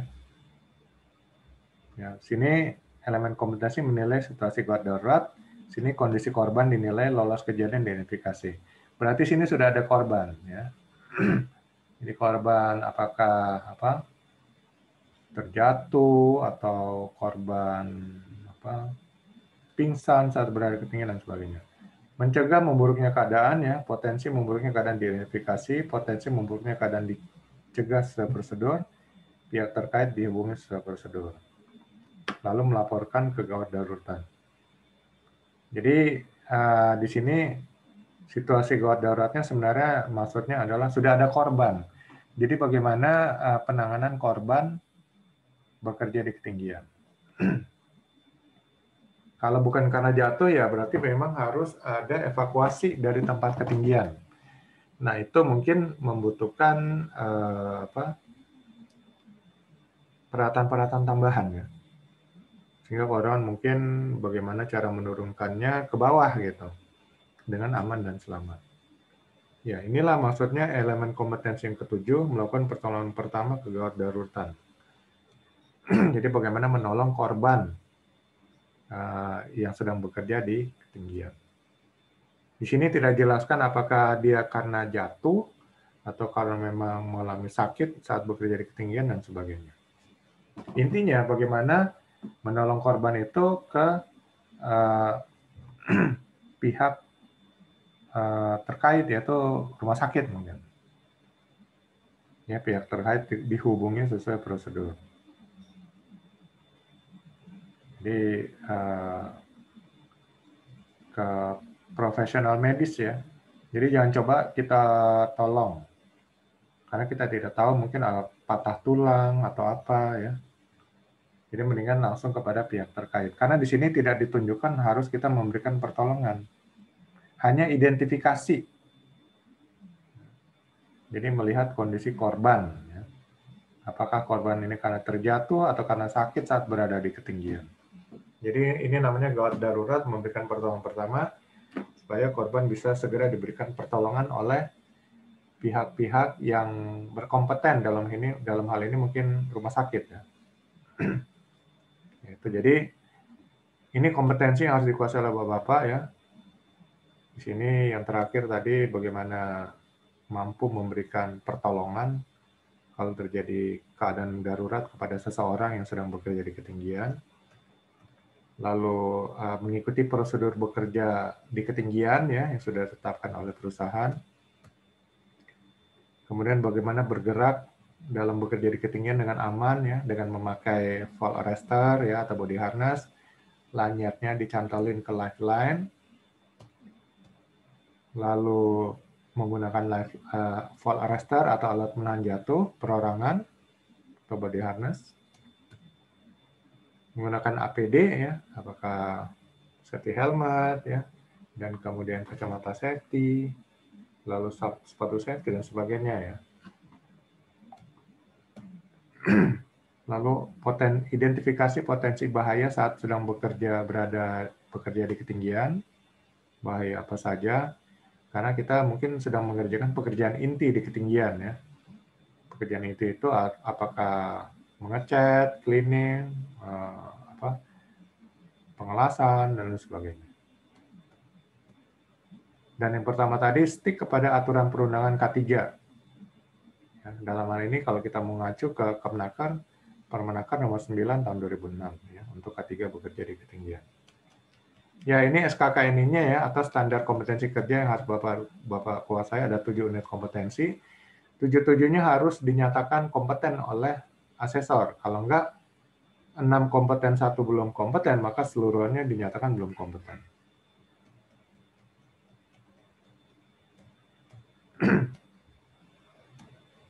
Oke, sampai sini ada pertanyaan sebelum kita melanjut kepada video.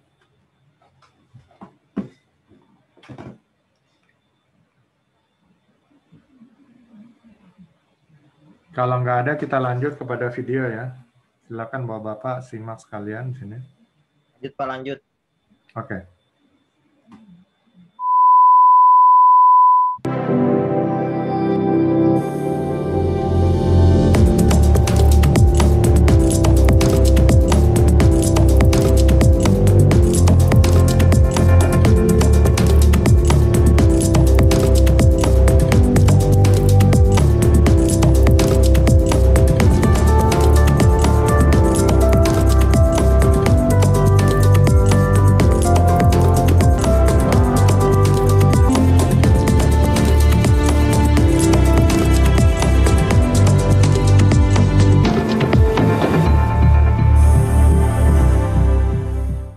Apa kabar saudara? Kami harap semuanya dalam kondisi fit dan sehat dalam menjalani rutinitas kerja Anda. Ya, tayangan berikut ini merupakan rangkaian kegiatan K3 sebagai bahan ajar pada pelatihan hiperkes dan keselamatan kerja di ketinggian. Tayangan ini akan menginformasikan kepada Anda betapa pentingnya pemakaian alat pelindung diri atau APD dan pemahaman resiko bahaya dan penanganannya untuk keselamatan dan kesehatan kerja di ketinggian. Ikuti terus dan selamat menyaksikan. Salam K3. Apakah Anda termasuk orang yang bekerja di ketinggian? Jika iya, Anda termasuk orang dengan resiko tertinggi dan salah satu penyebab terjadinya kecelakaan kerja yang berdampak pada cedera serius dan kematian adalah terjatuh dari ketinggian dan sebagian besar terjadi pada pekerja di bidang konstruksi.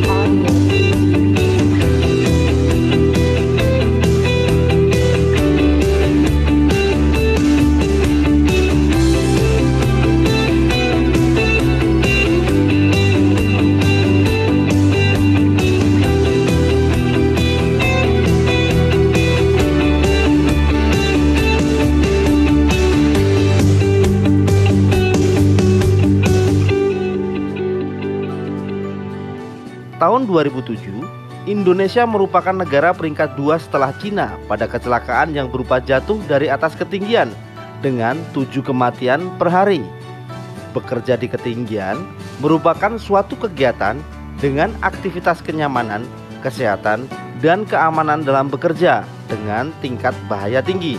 Semisal pada pekerjaan penambangan bawah tanah, pekerja bawah air, pekerjaan di ketinggian, dan pemadam kebakaran.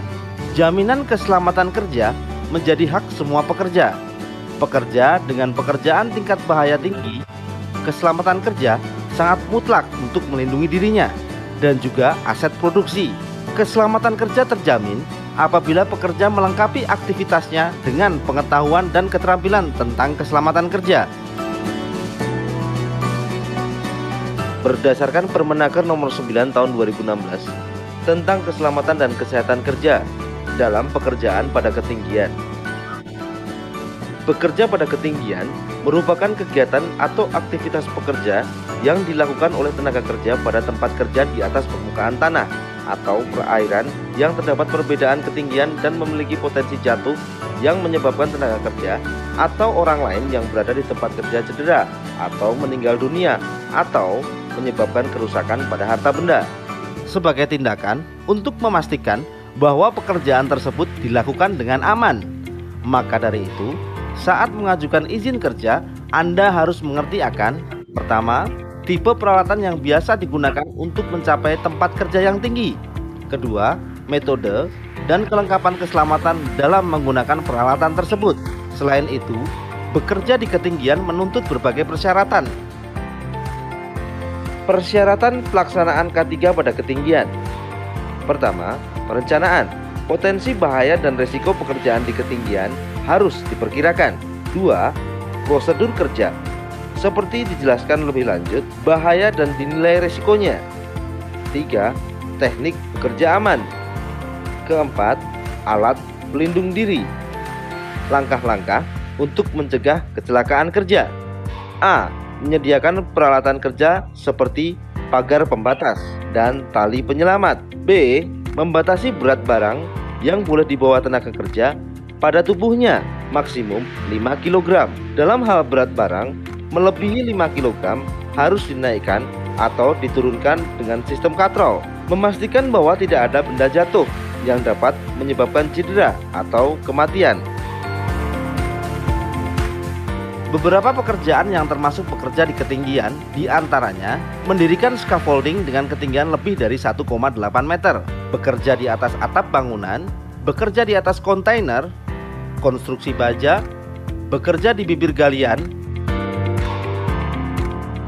pemasangan cladding dan roofing, pekerjaan memasang mekanikal dan elektrikal. Beberapa peralatan bekerja di atas ketinggian yang harus digunakan adalah Pertama, sabuk dan tali keselamatan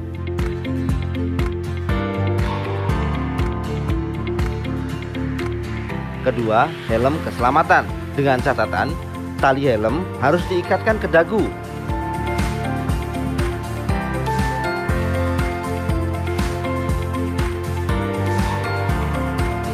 Ketiga, sepatu keselamatan.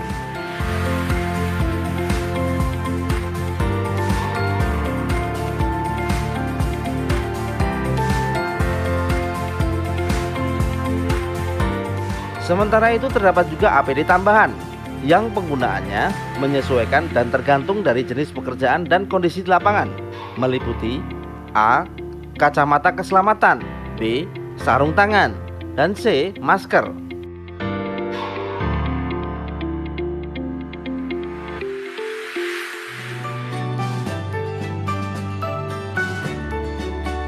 Prosedur bekerja pada ketinggian meliputi teknik dan cara perlindungan jatuh, cara pengelolaan peralatan, teknik, dan cara melakukan pengawasan pekerjaan, pengamanan tempat kerja, kesiapsiagaan, dan tanggap darurat.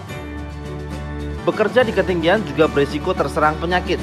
Beberapa gangguan kesehatan yang memungkinkan terjadi ketika bekerja di atas ketinggian di antaranya hipoksia dikompresi, bends, chokes, sinusitas kronik, gangguan penglihatan, barodontologia, gangguan proses mental dan psikologi. Tidak hanya itu saja, bekerja di ketinggian juga terdapat beberapa faktor-faktor yang berisiko seseorang terjatuh dari atas ketinggian seperti pada manusia, kurang pengetahuan, keahlian, dan kemampuan terbatas, kondisi tidak fit untuk bekerja, kelelahan, kebiasaan mengambil jalan pintas tanpa pertimbangan yang benar, serta berperilaku tidak aman pada lingkungan, kondisi cuaca, permukaan licin, dan berserakan dan tidak bersih, jenis pekerjaan yang berpindah-pindah, kondisi peralatan dan perlengkapan mekanik, dan lain sebagainya. Faktor peralatan, prosedur dan pengorganisasian, peralatan pencegah serta penahan jatuh, dan pendukung yang tidak sesuai standar, dan kondisi tidak aman untuk digunakan, kesalahan penggunaan alat, ketidaksesuaian penggunaan alat, dan tidak adanya prosedur baik SOP dan penilaian resiko. Resiko yang paling umum pada saat bekerja di ketinggian adalah jatuh atau terlepas dan terhempas dari ketinggian ke bawah dengan cepat baik masih dalam pergerakan turun atau bahkan sudah sampai ke tanah dari atas ketinggian atau tertimpa material dari atas ketinggian. Pada dasarnya, hal ini dipengaruhi oleh berat pekerja, jarak jatuh, gaya gravitasi, faktor kecepatan sistem, Seseorang ketika bekerja di atas ketinggian dinyatakan aman dari risiko bahaya jatuh asalkan tidak terhempas pada permukaan. Aturan normatif yang mendasar ini disebut dengan sistem penahan jatuh. Sistem kendali yang biasa digunakan seperti full body harness, safety net, dan catch platform. Dan perlu diperhatikan resiko lainnya dari sistem ini seperti efek ayun. Apabila pemilihan spot different pada anchorage pointnya tidak tepat, seseorang sama sekali jangan sampai terjatuh dari ketinggian dan penanganannya pada saat jatuh. Itulah inti utama K3 pada ketinggian. Artinya, sebelum pekerja tersebut mencapai ke titik jatuh, maka pekerja tersebut sudah dicegah. Ini yang disebut sistem pencegah jatuh. Pencegahan jatuh tidak hanya mencegah kematian, tetapi juga cedera serius dari resiko jatuh dari atas ketinggian. Sistem penahan jatuh terdiri dari tiga komponen utama, di antaranya adalah anchorage connector atau konektor bodywear atau alat yang dipakai di tubuh, connecting device atau peralatan penghubung. Anchorage connector atau konektor digunakan sebagai satu bagian dengan perangkat yang menghubungkan anchorage seperti cross arm start, beam anchor, D-bolt, dan hook anchor.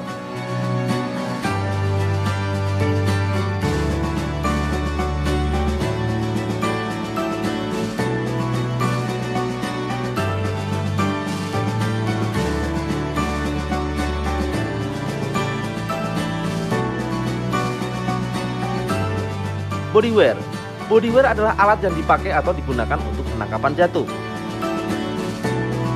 Peralatan penghubung Sebuah peralatan atau perangkat yang digunakan untuk menghubungkan anchorage connector dengan bodywear. Contohnya shock absorbing lanyard, fall limiter, self retracting lifeline, rope grab, dan lain sebagainya.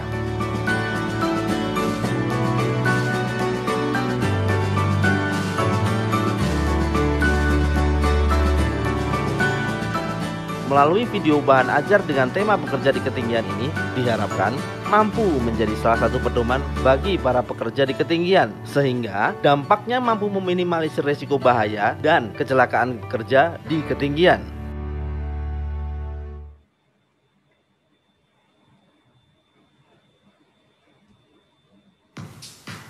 Bismillahirrahmanirrahim. Assalamualaikum warahmatullahi wabarakatuh. Salam sejahtera bagi kita semua. Kita masuk ke sesi yang kedua kita membahas tentang alat pencegah dan penahan jatuh kolektif serta alat pembatas gerak. Karena kita bekerja di tinggian tidak lepas dari yang namanya alat pencegah jatuh, alat penahan jatuh. Itu.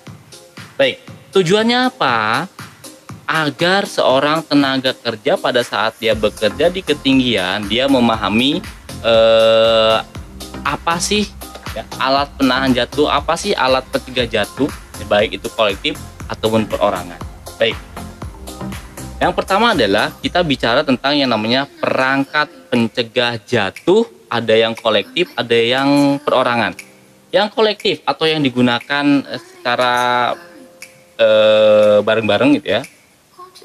Yang kolektif itu bentuknya semacam top rail, mid rail, atau board ya, di mana diacu di Permenaker 09 tahun 2016 eh, alat pencegah jatuh kolektif itu berbentuk dinding, tembok, batas pengaman, pagar pengaman di mana tinggi dari pagar pengaman ini atau top rail ini adalah minimal 950 mm. Kata siapa Pak? Kata Permenaker 09 tahun 2016. Kemudian celah pagarnya atau biasa disebut sebagai mid railnya adalah 470 mm itu maksimal. Jadi railnya minimal 950 jadi tidak boleh kurang dari 950 ya karena apa? Ketika terpasang kurang dari 950 khawatirnya adalah masih ada potensi orang itu terjatuh. Kemudian mid railnya atau celah pagarnya 470 dan harus disediakan yang namanya two board. Karena apa? Kita bekerja di ketinggian, ada dua hal yang harus kita pahami adalah bekerja tinggian potensi bahaya adalah kalau nggak orangnya yang jatuh orang yang akan kejatuhan. Maka dari itu pemasangan tubot ini berfungsi sebagai pada saat seorang tenaga kerja bekerja di atas kemudian orang tersebut menendang alat menendang material dengan tidak sengaja kemudian material itu terjatuh. Kalau tidak ada tubot khawatirnya material itu akan terjatuh ke bawah kemudian di bawah ada orang maka bisa menimpa orang yang di bawah. Maka dari itu pemasangan tubor itu adalah untuk mencegah supaya material itu tidak terjatuh atau tertahan oleh bagian tubornya. Nah itu ya eh, pencegah jatuh. Jadi ini eh, ketiga ini disebut sebagai pencegah jatuh kolektif. Nah setiap pencegah jatuh kolektif itu harus mampu menahan beban 0,9 kilo Newton ya. Jadi kata Permenaker di situ dikatakan bahwasanya yang harus mampu menahan beban minimal 0,9 kilo Newton. Kata siapa? Kata Permenaker nomor 9 tahun 2016. Kemudian alat pencegah jatuh yang perorangan artinya ada ada perorangan, ada juga kolektif. Kalau yang perorangan yang biasa kita gunakan adalah yang namanya sabuk tubuh, maka sabuk tubuh itu belum bisa dikatakan sebagai alat penahan jatuh ya sabuk tubuh masih dikatakan sebagai pencegah jatuh karena yang penahan jatuh itu ada double hook lanjat, kemudian ada mobil coaster, ada juga mechanical coaster. Ya, jadi sabuk tubuh yang biasa kita gunakan, full body harness yang kita gunakan, ya, itu adalah eh, masih dikatakan atau masih dikategorikan sebagai alat pencegah jatuh perorangan. Kemudian yang kedua adalah alat pencegah jatuh perorangan satu lagi ada yang namanya eh, walk positioning atau pemposisi kerja di mana fungsi dari walk positioning itu adalah untuk membuat kinerja kita pada saat kita bekerja di ketinggian itu lebih aman dan nyaman. Ya, maka disebut sebagai pencegah jatuh e, perorangan. Nah setelah itu kita bicara tentang yang namanya perangkat penahan jatuh kolektif. Kalau tadi kita sudah bicara tentang pencegah jatuh kolektif dan pencegah jatuh perorangan nah sekarang adalah kita bicara tentang perangkat penahan jatuh e, kolektif Berbentuk apa? Biasanya penahan jatuh kolektif itu berbentuk bantalan, kemudian ada jaring atau safety net, ya. Kemudian dipasang pada angkur yang kuat dan harus mampu menahan beban minimal adalah 15 kN, 15 kilo Newton. Itu harus diujikan ya. Jadi kita tahu dari mana kapasitas 15 kN. Permenakernya ada, Permenaker nomor 9 tahun 2016. Kemudian eh, kapasitas biar kita tahu 15 kN adalah kita harus melakukan yang namanya pengujian. Supaya apa? double apa penahan jatuh kolektif ini digunakan pada saat ada orang terjatuh tertahan oleh safety net atau bantalan makanya kata permenaker tersebut si penahan jatuh kolektif ini harus mampu menahan beban minimal 15 kN ya itu eh, penjelasan tentang pencegah jatuh kolektif dan personal dan penahan jatuh kolektif yang sesuai dengan Permenaker 09 tahun 2016. Saya Panita Harjo, tim dari Arai. Ya, salam safety, salam ketinggian.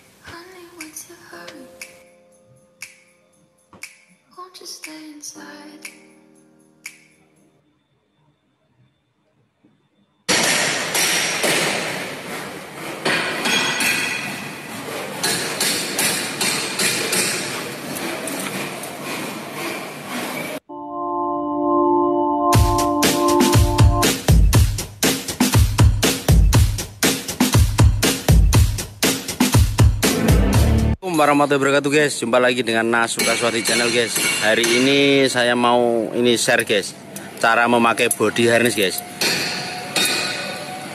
Ini kayak ini baru pertama kali masangnya guys. Oke. Oh gitu mas ya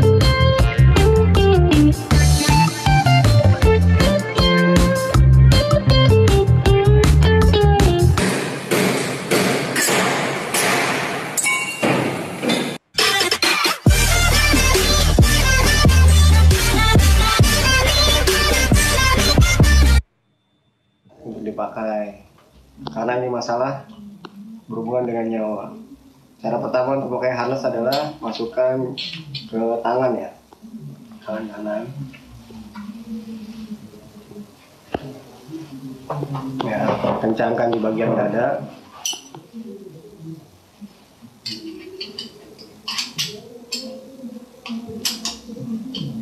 Pastikan bahwa kita memakai dengan cara yang terbaik. Pastikan.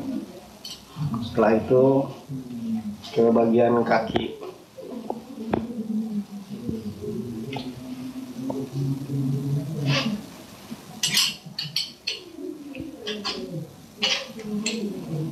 Pastikan juga bahwa telah terpasang dengan baik. Satu lagi kaki yang sebelah kiri.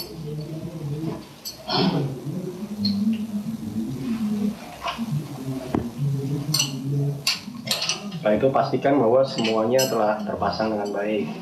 Untuk kelengkapannya eh, kita perlukan lanyard bisa pakai single atau double. Yang single. Ini single lanyard terdiri dari satu karabiner dan satu hook besar.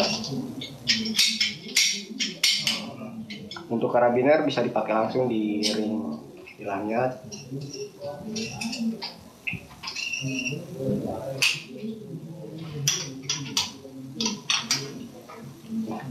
pastikan dikunci supaya nah, kunci ya.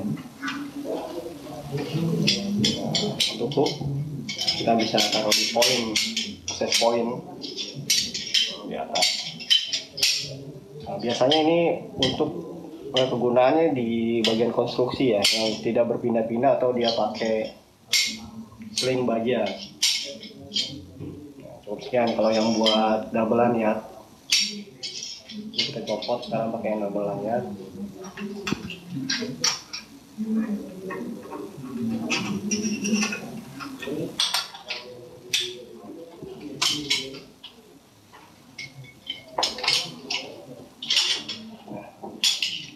terdiri dari karabiner, perlengkapannya ada absorber dan dua hook besar.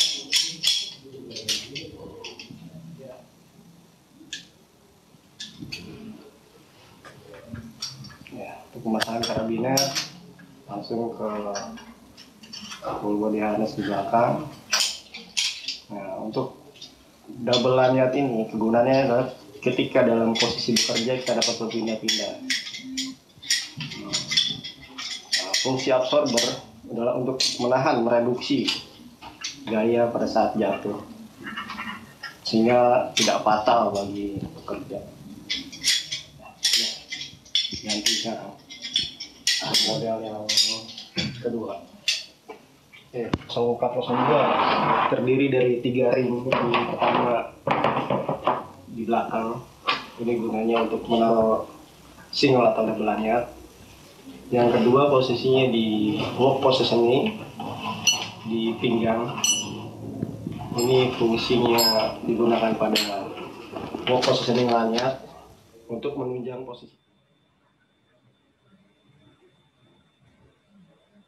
ya itu itu sebagai itu kan apa positioning la- work positioning ini sebenarnya sebagai pengganti safety belt ya karena safety belt sudah dinilai tidak aman. Ya cara pemakaiannya sama seperti yang tadi dari tangan dulu tangan kanan lebih baik. Ya di dada pastikan pakai dengan baik. Ya setelah itu di pinggang di bagian wall positioningnya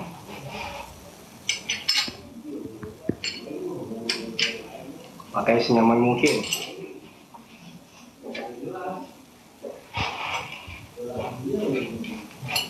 Setelah itu di paha di bagian kaki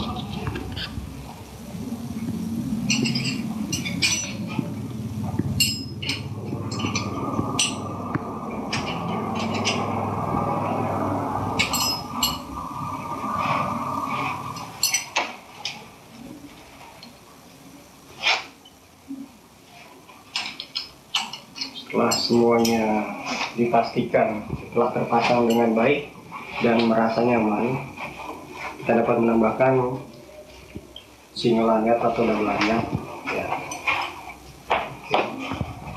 Bekerja pada ketinggian. Namanya helm safety, helm climbing ya biasanya pakai. Ini telah memenuhi standar EN 397 standar Eropa number pastikan bahwa helm ini telah standar internasional. Helm ini terdiri dari bahannya ABS,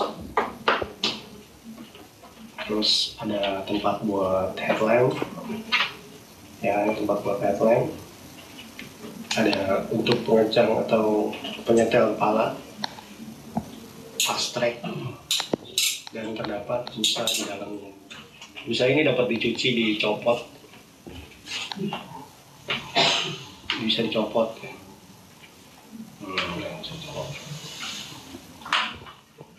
Oke, ya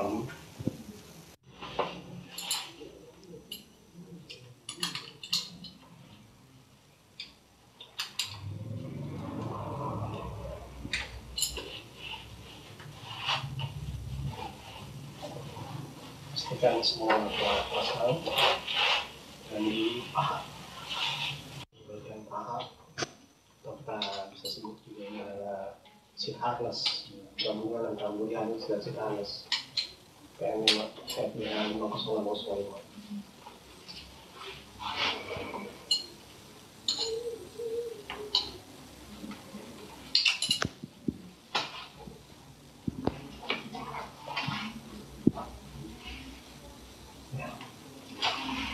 dan semua terpasang dengan baik.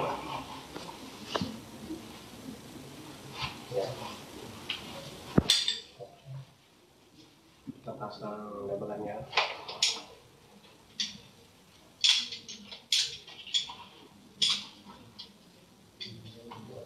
Di bawah aja. Labelannya. Ini dari kemungkinan kejatuhan ini dilengkapi nomor sebagai reduksi gaya jatuh nah sudah kita pasang pos posisi banyak di posisi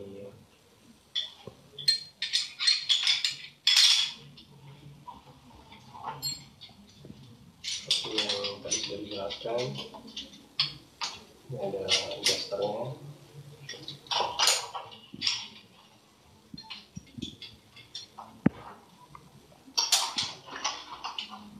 Oke. Dengan mengetahui kegunaan dari fungsi masing-masing harness dan lanyard, diharapkan Enggak terus. dapat meminimalisir atau meniadakan kecelakaan pada kerja pada ketinggian.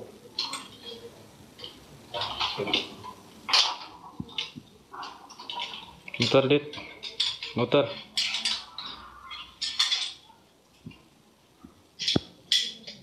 Lagi.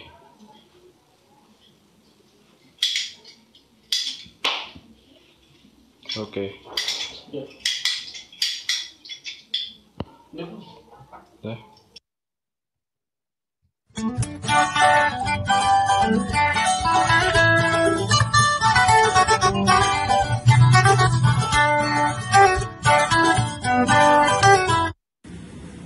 Assalamualaikum warahmatullahi wabarakatuh.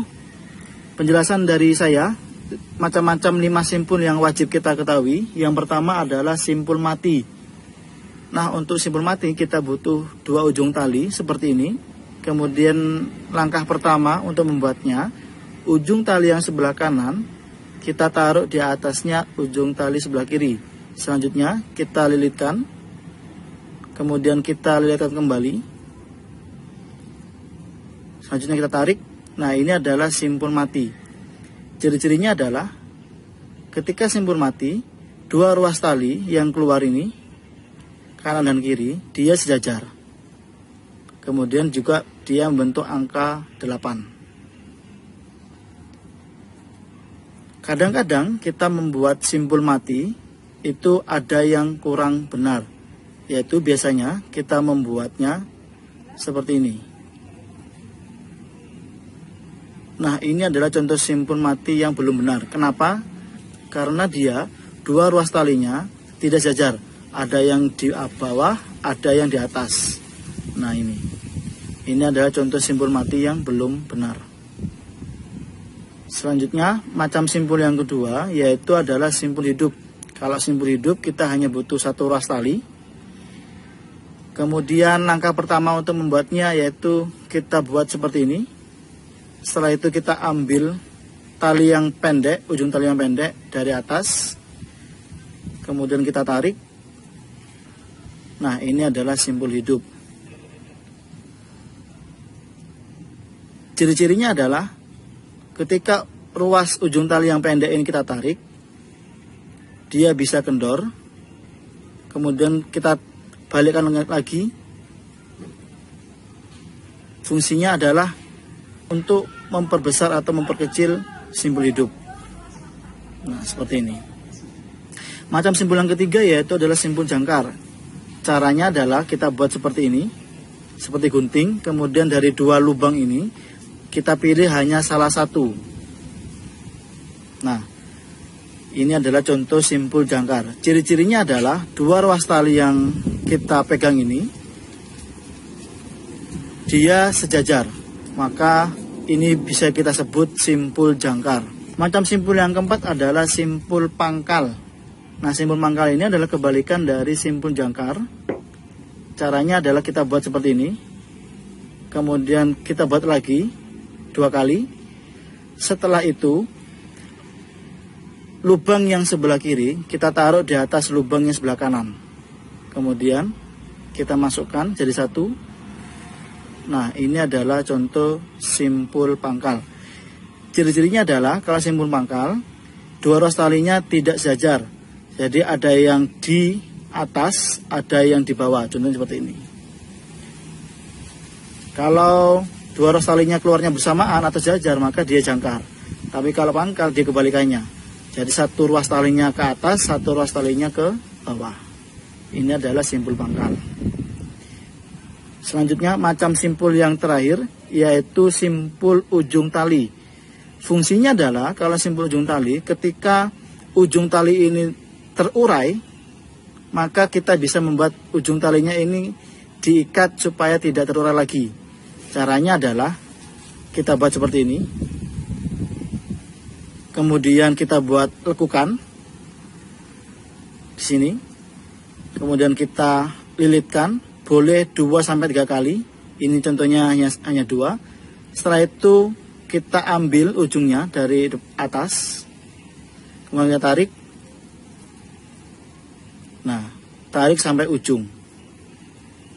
Ini adalah simbol ujung tali. Fungsinya adalah ketika ujung tali ini terurai, kemudian kita buat simpul di sini, maka hasil uraian di ujung tali tersebut tidak akan sampai ke bawah.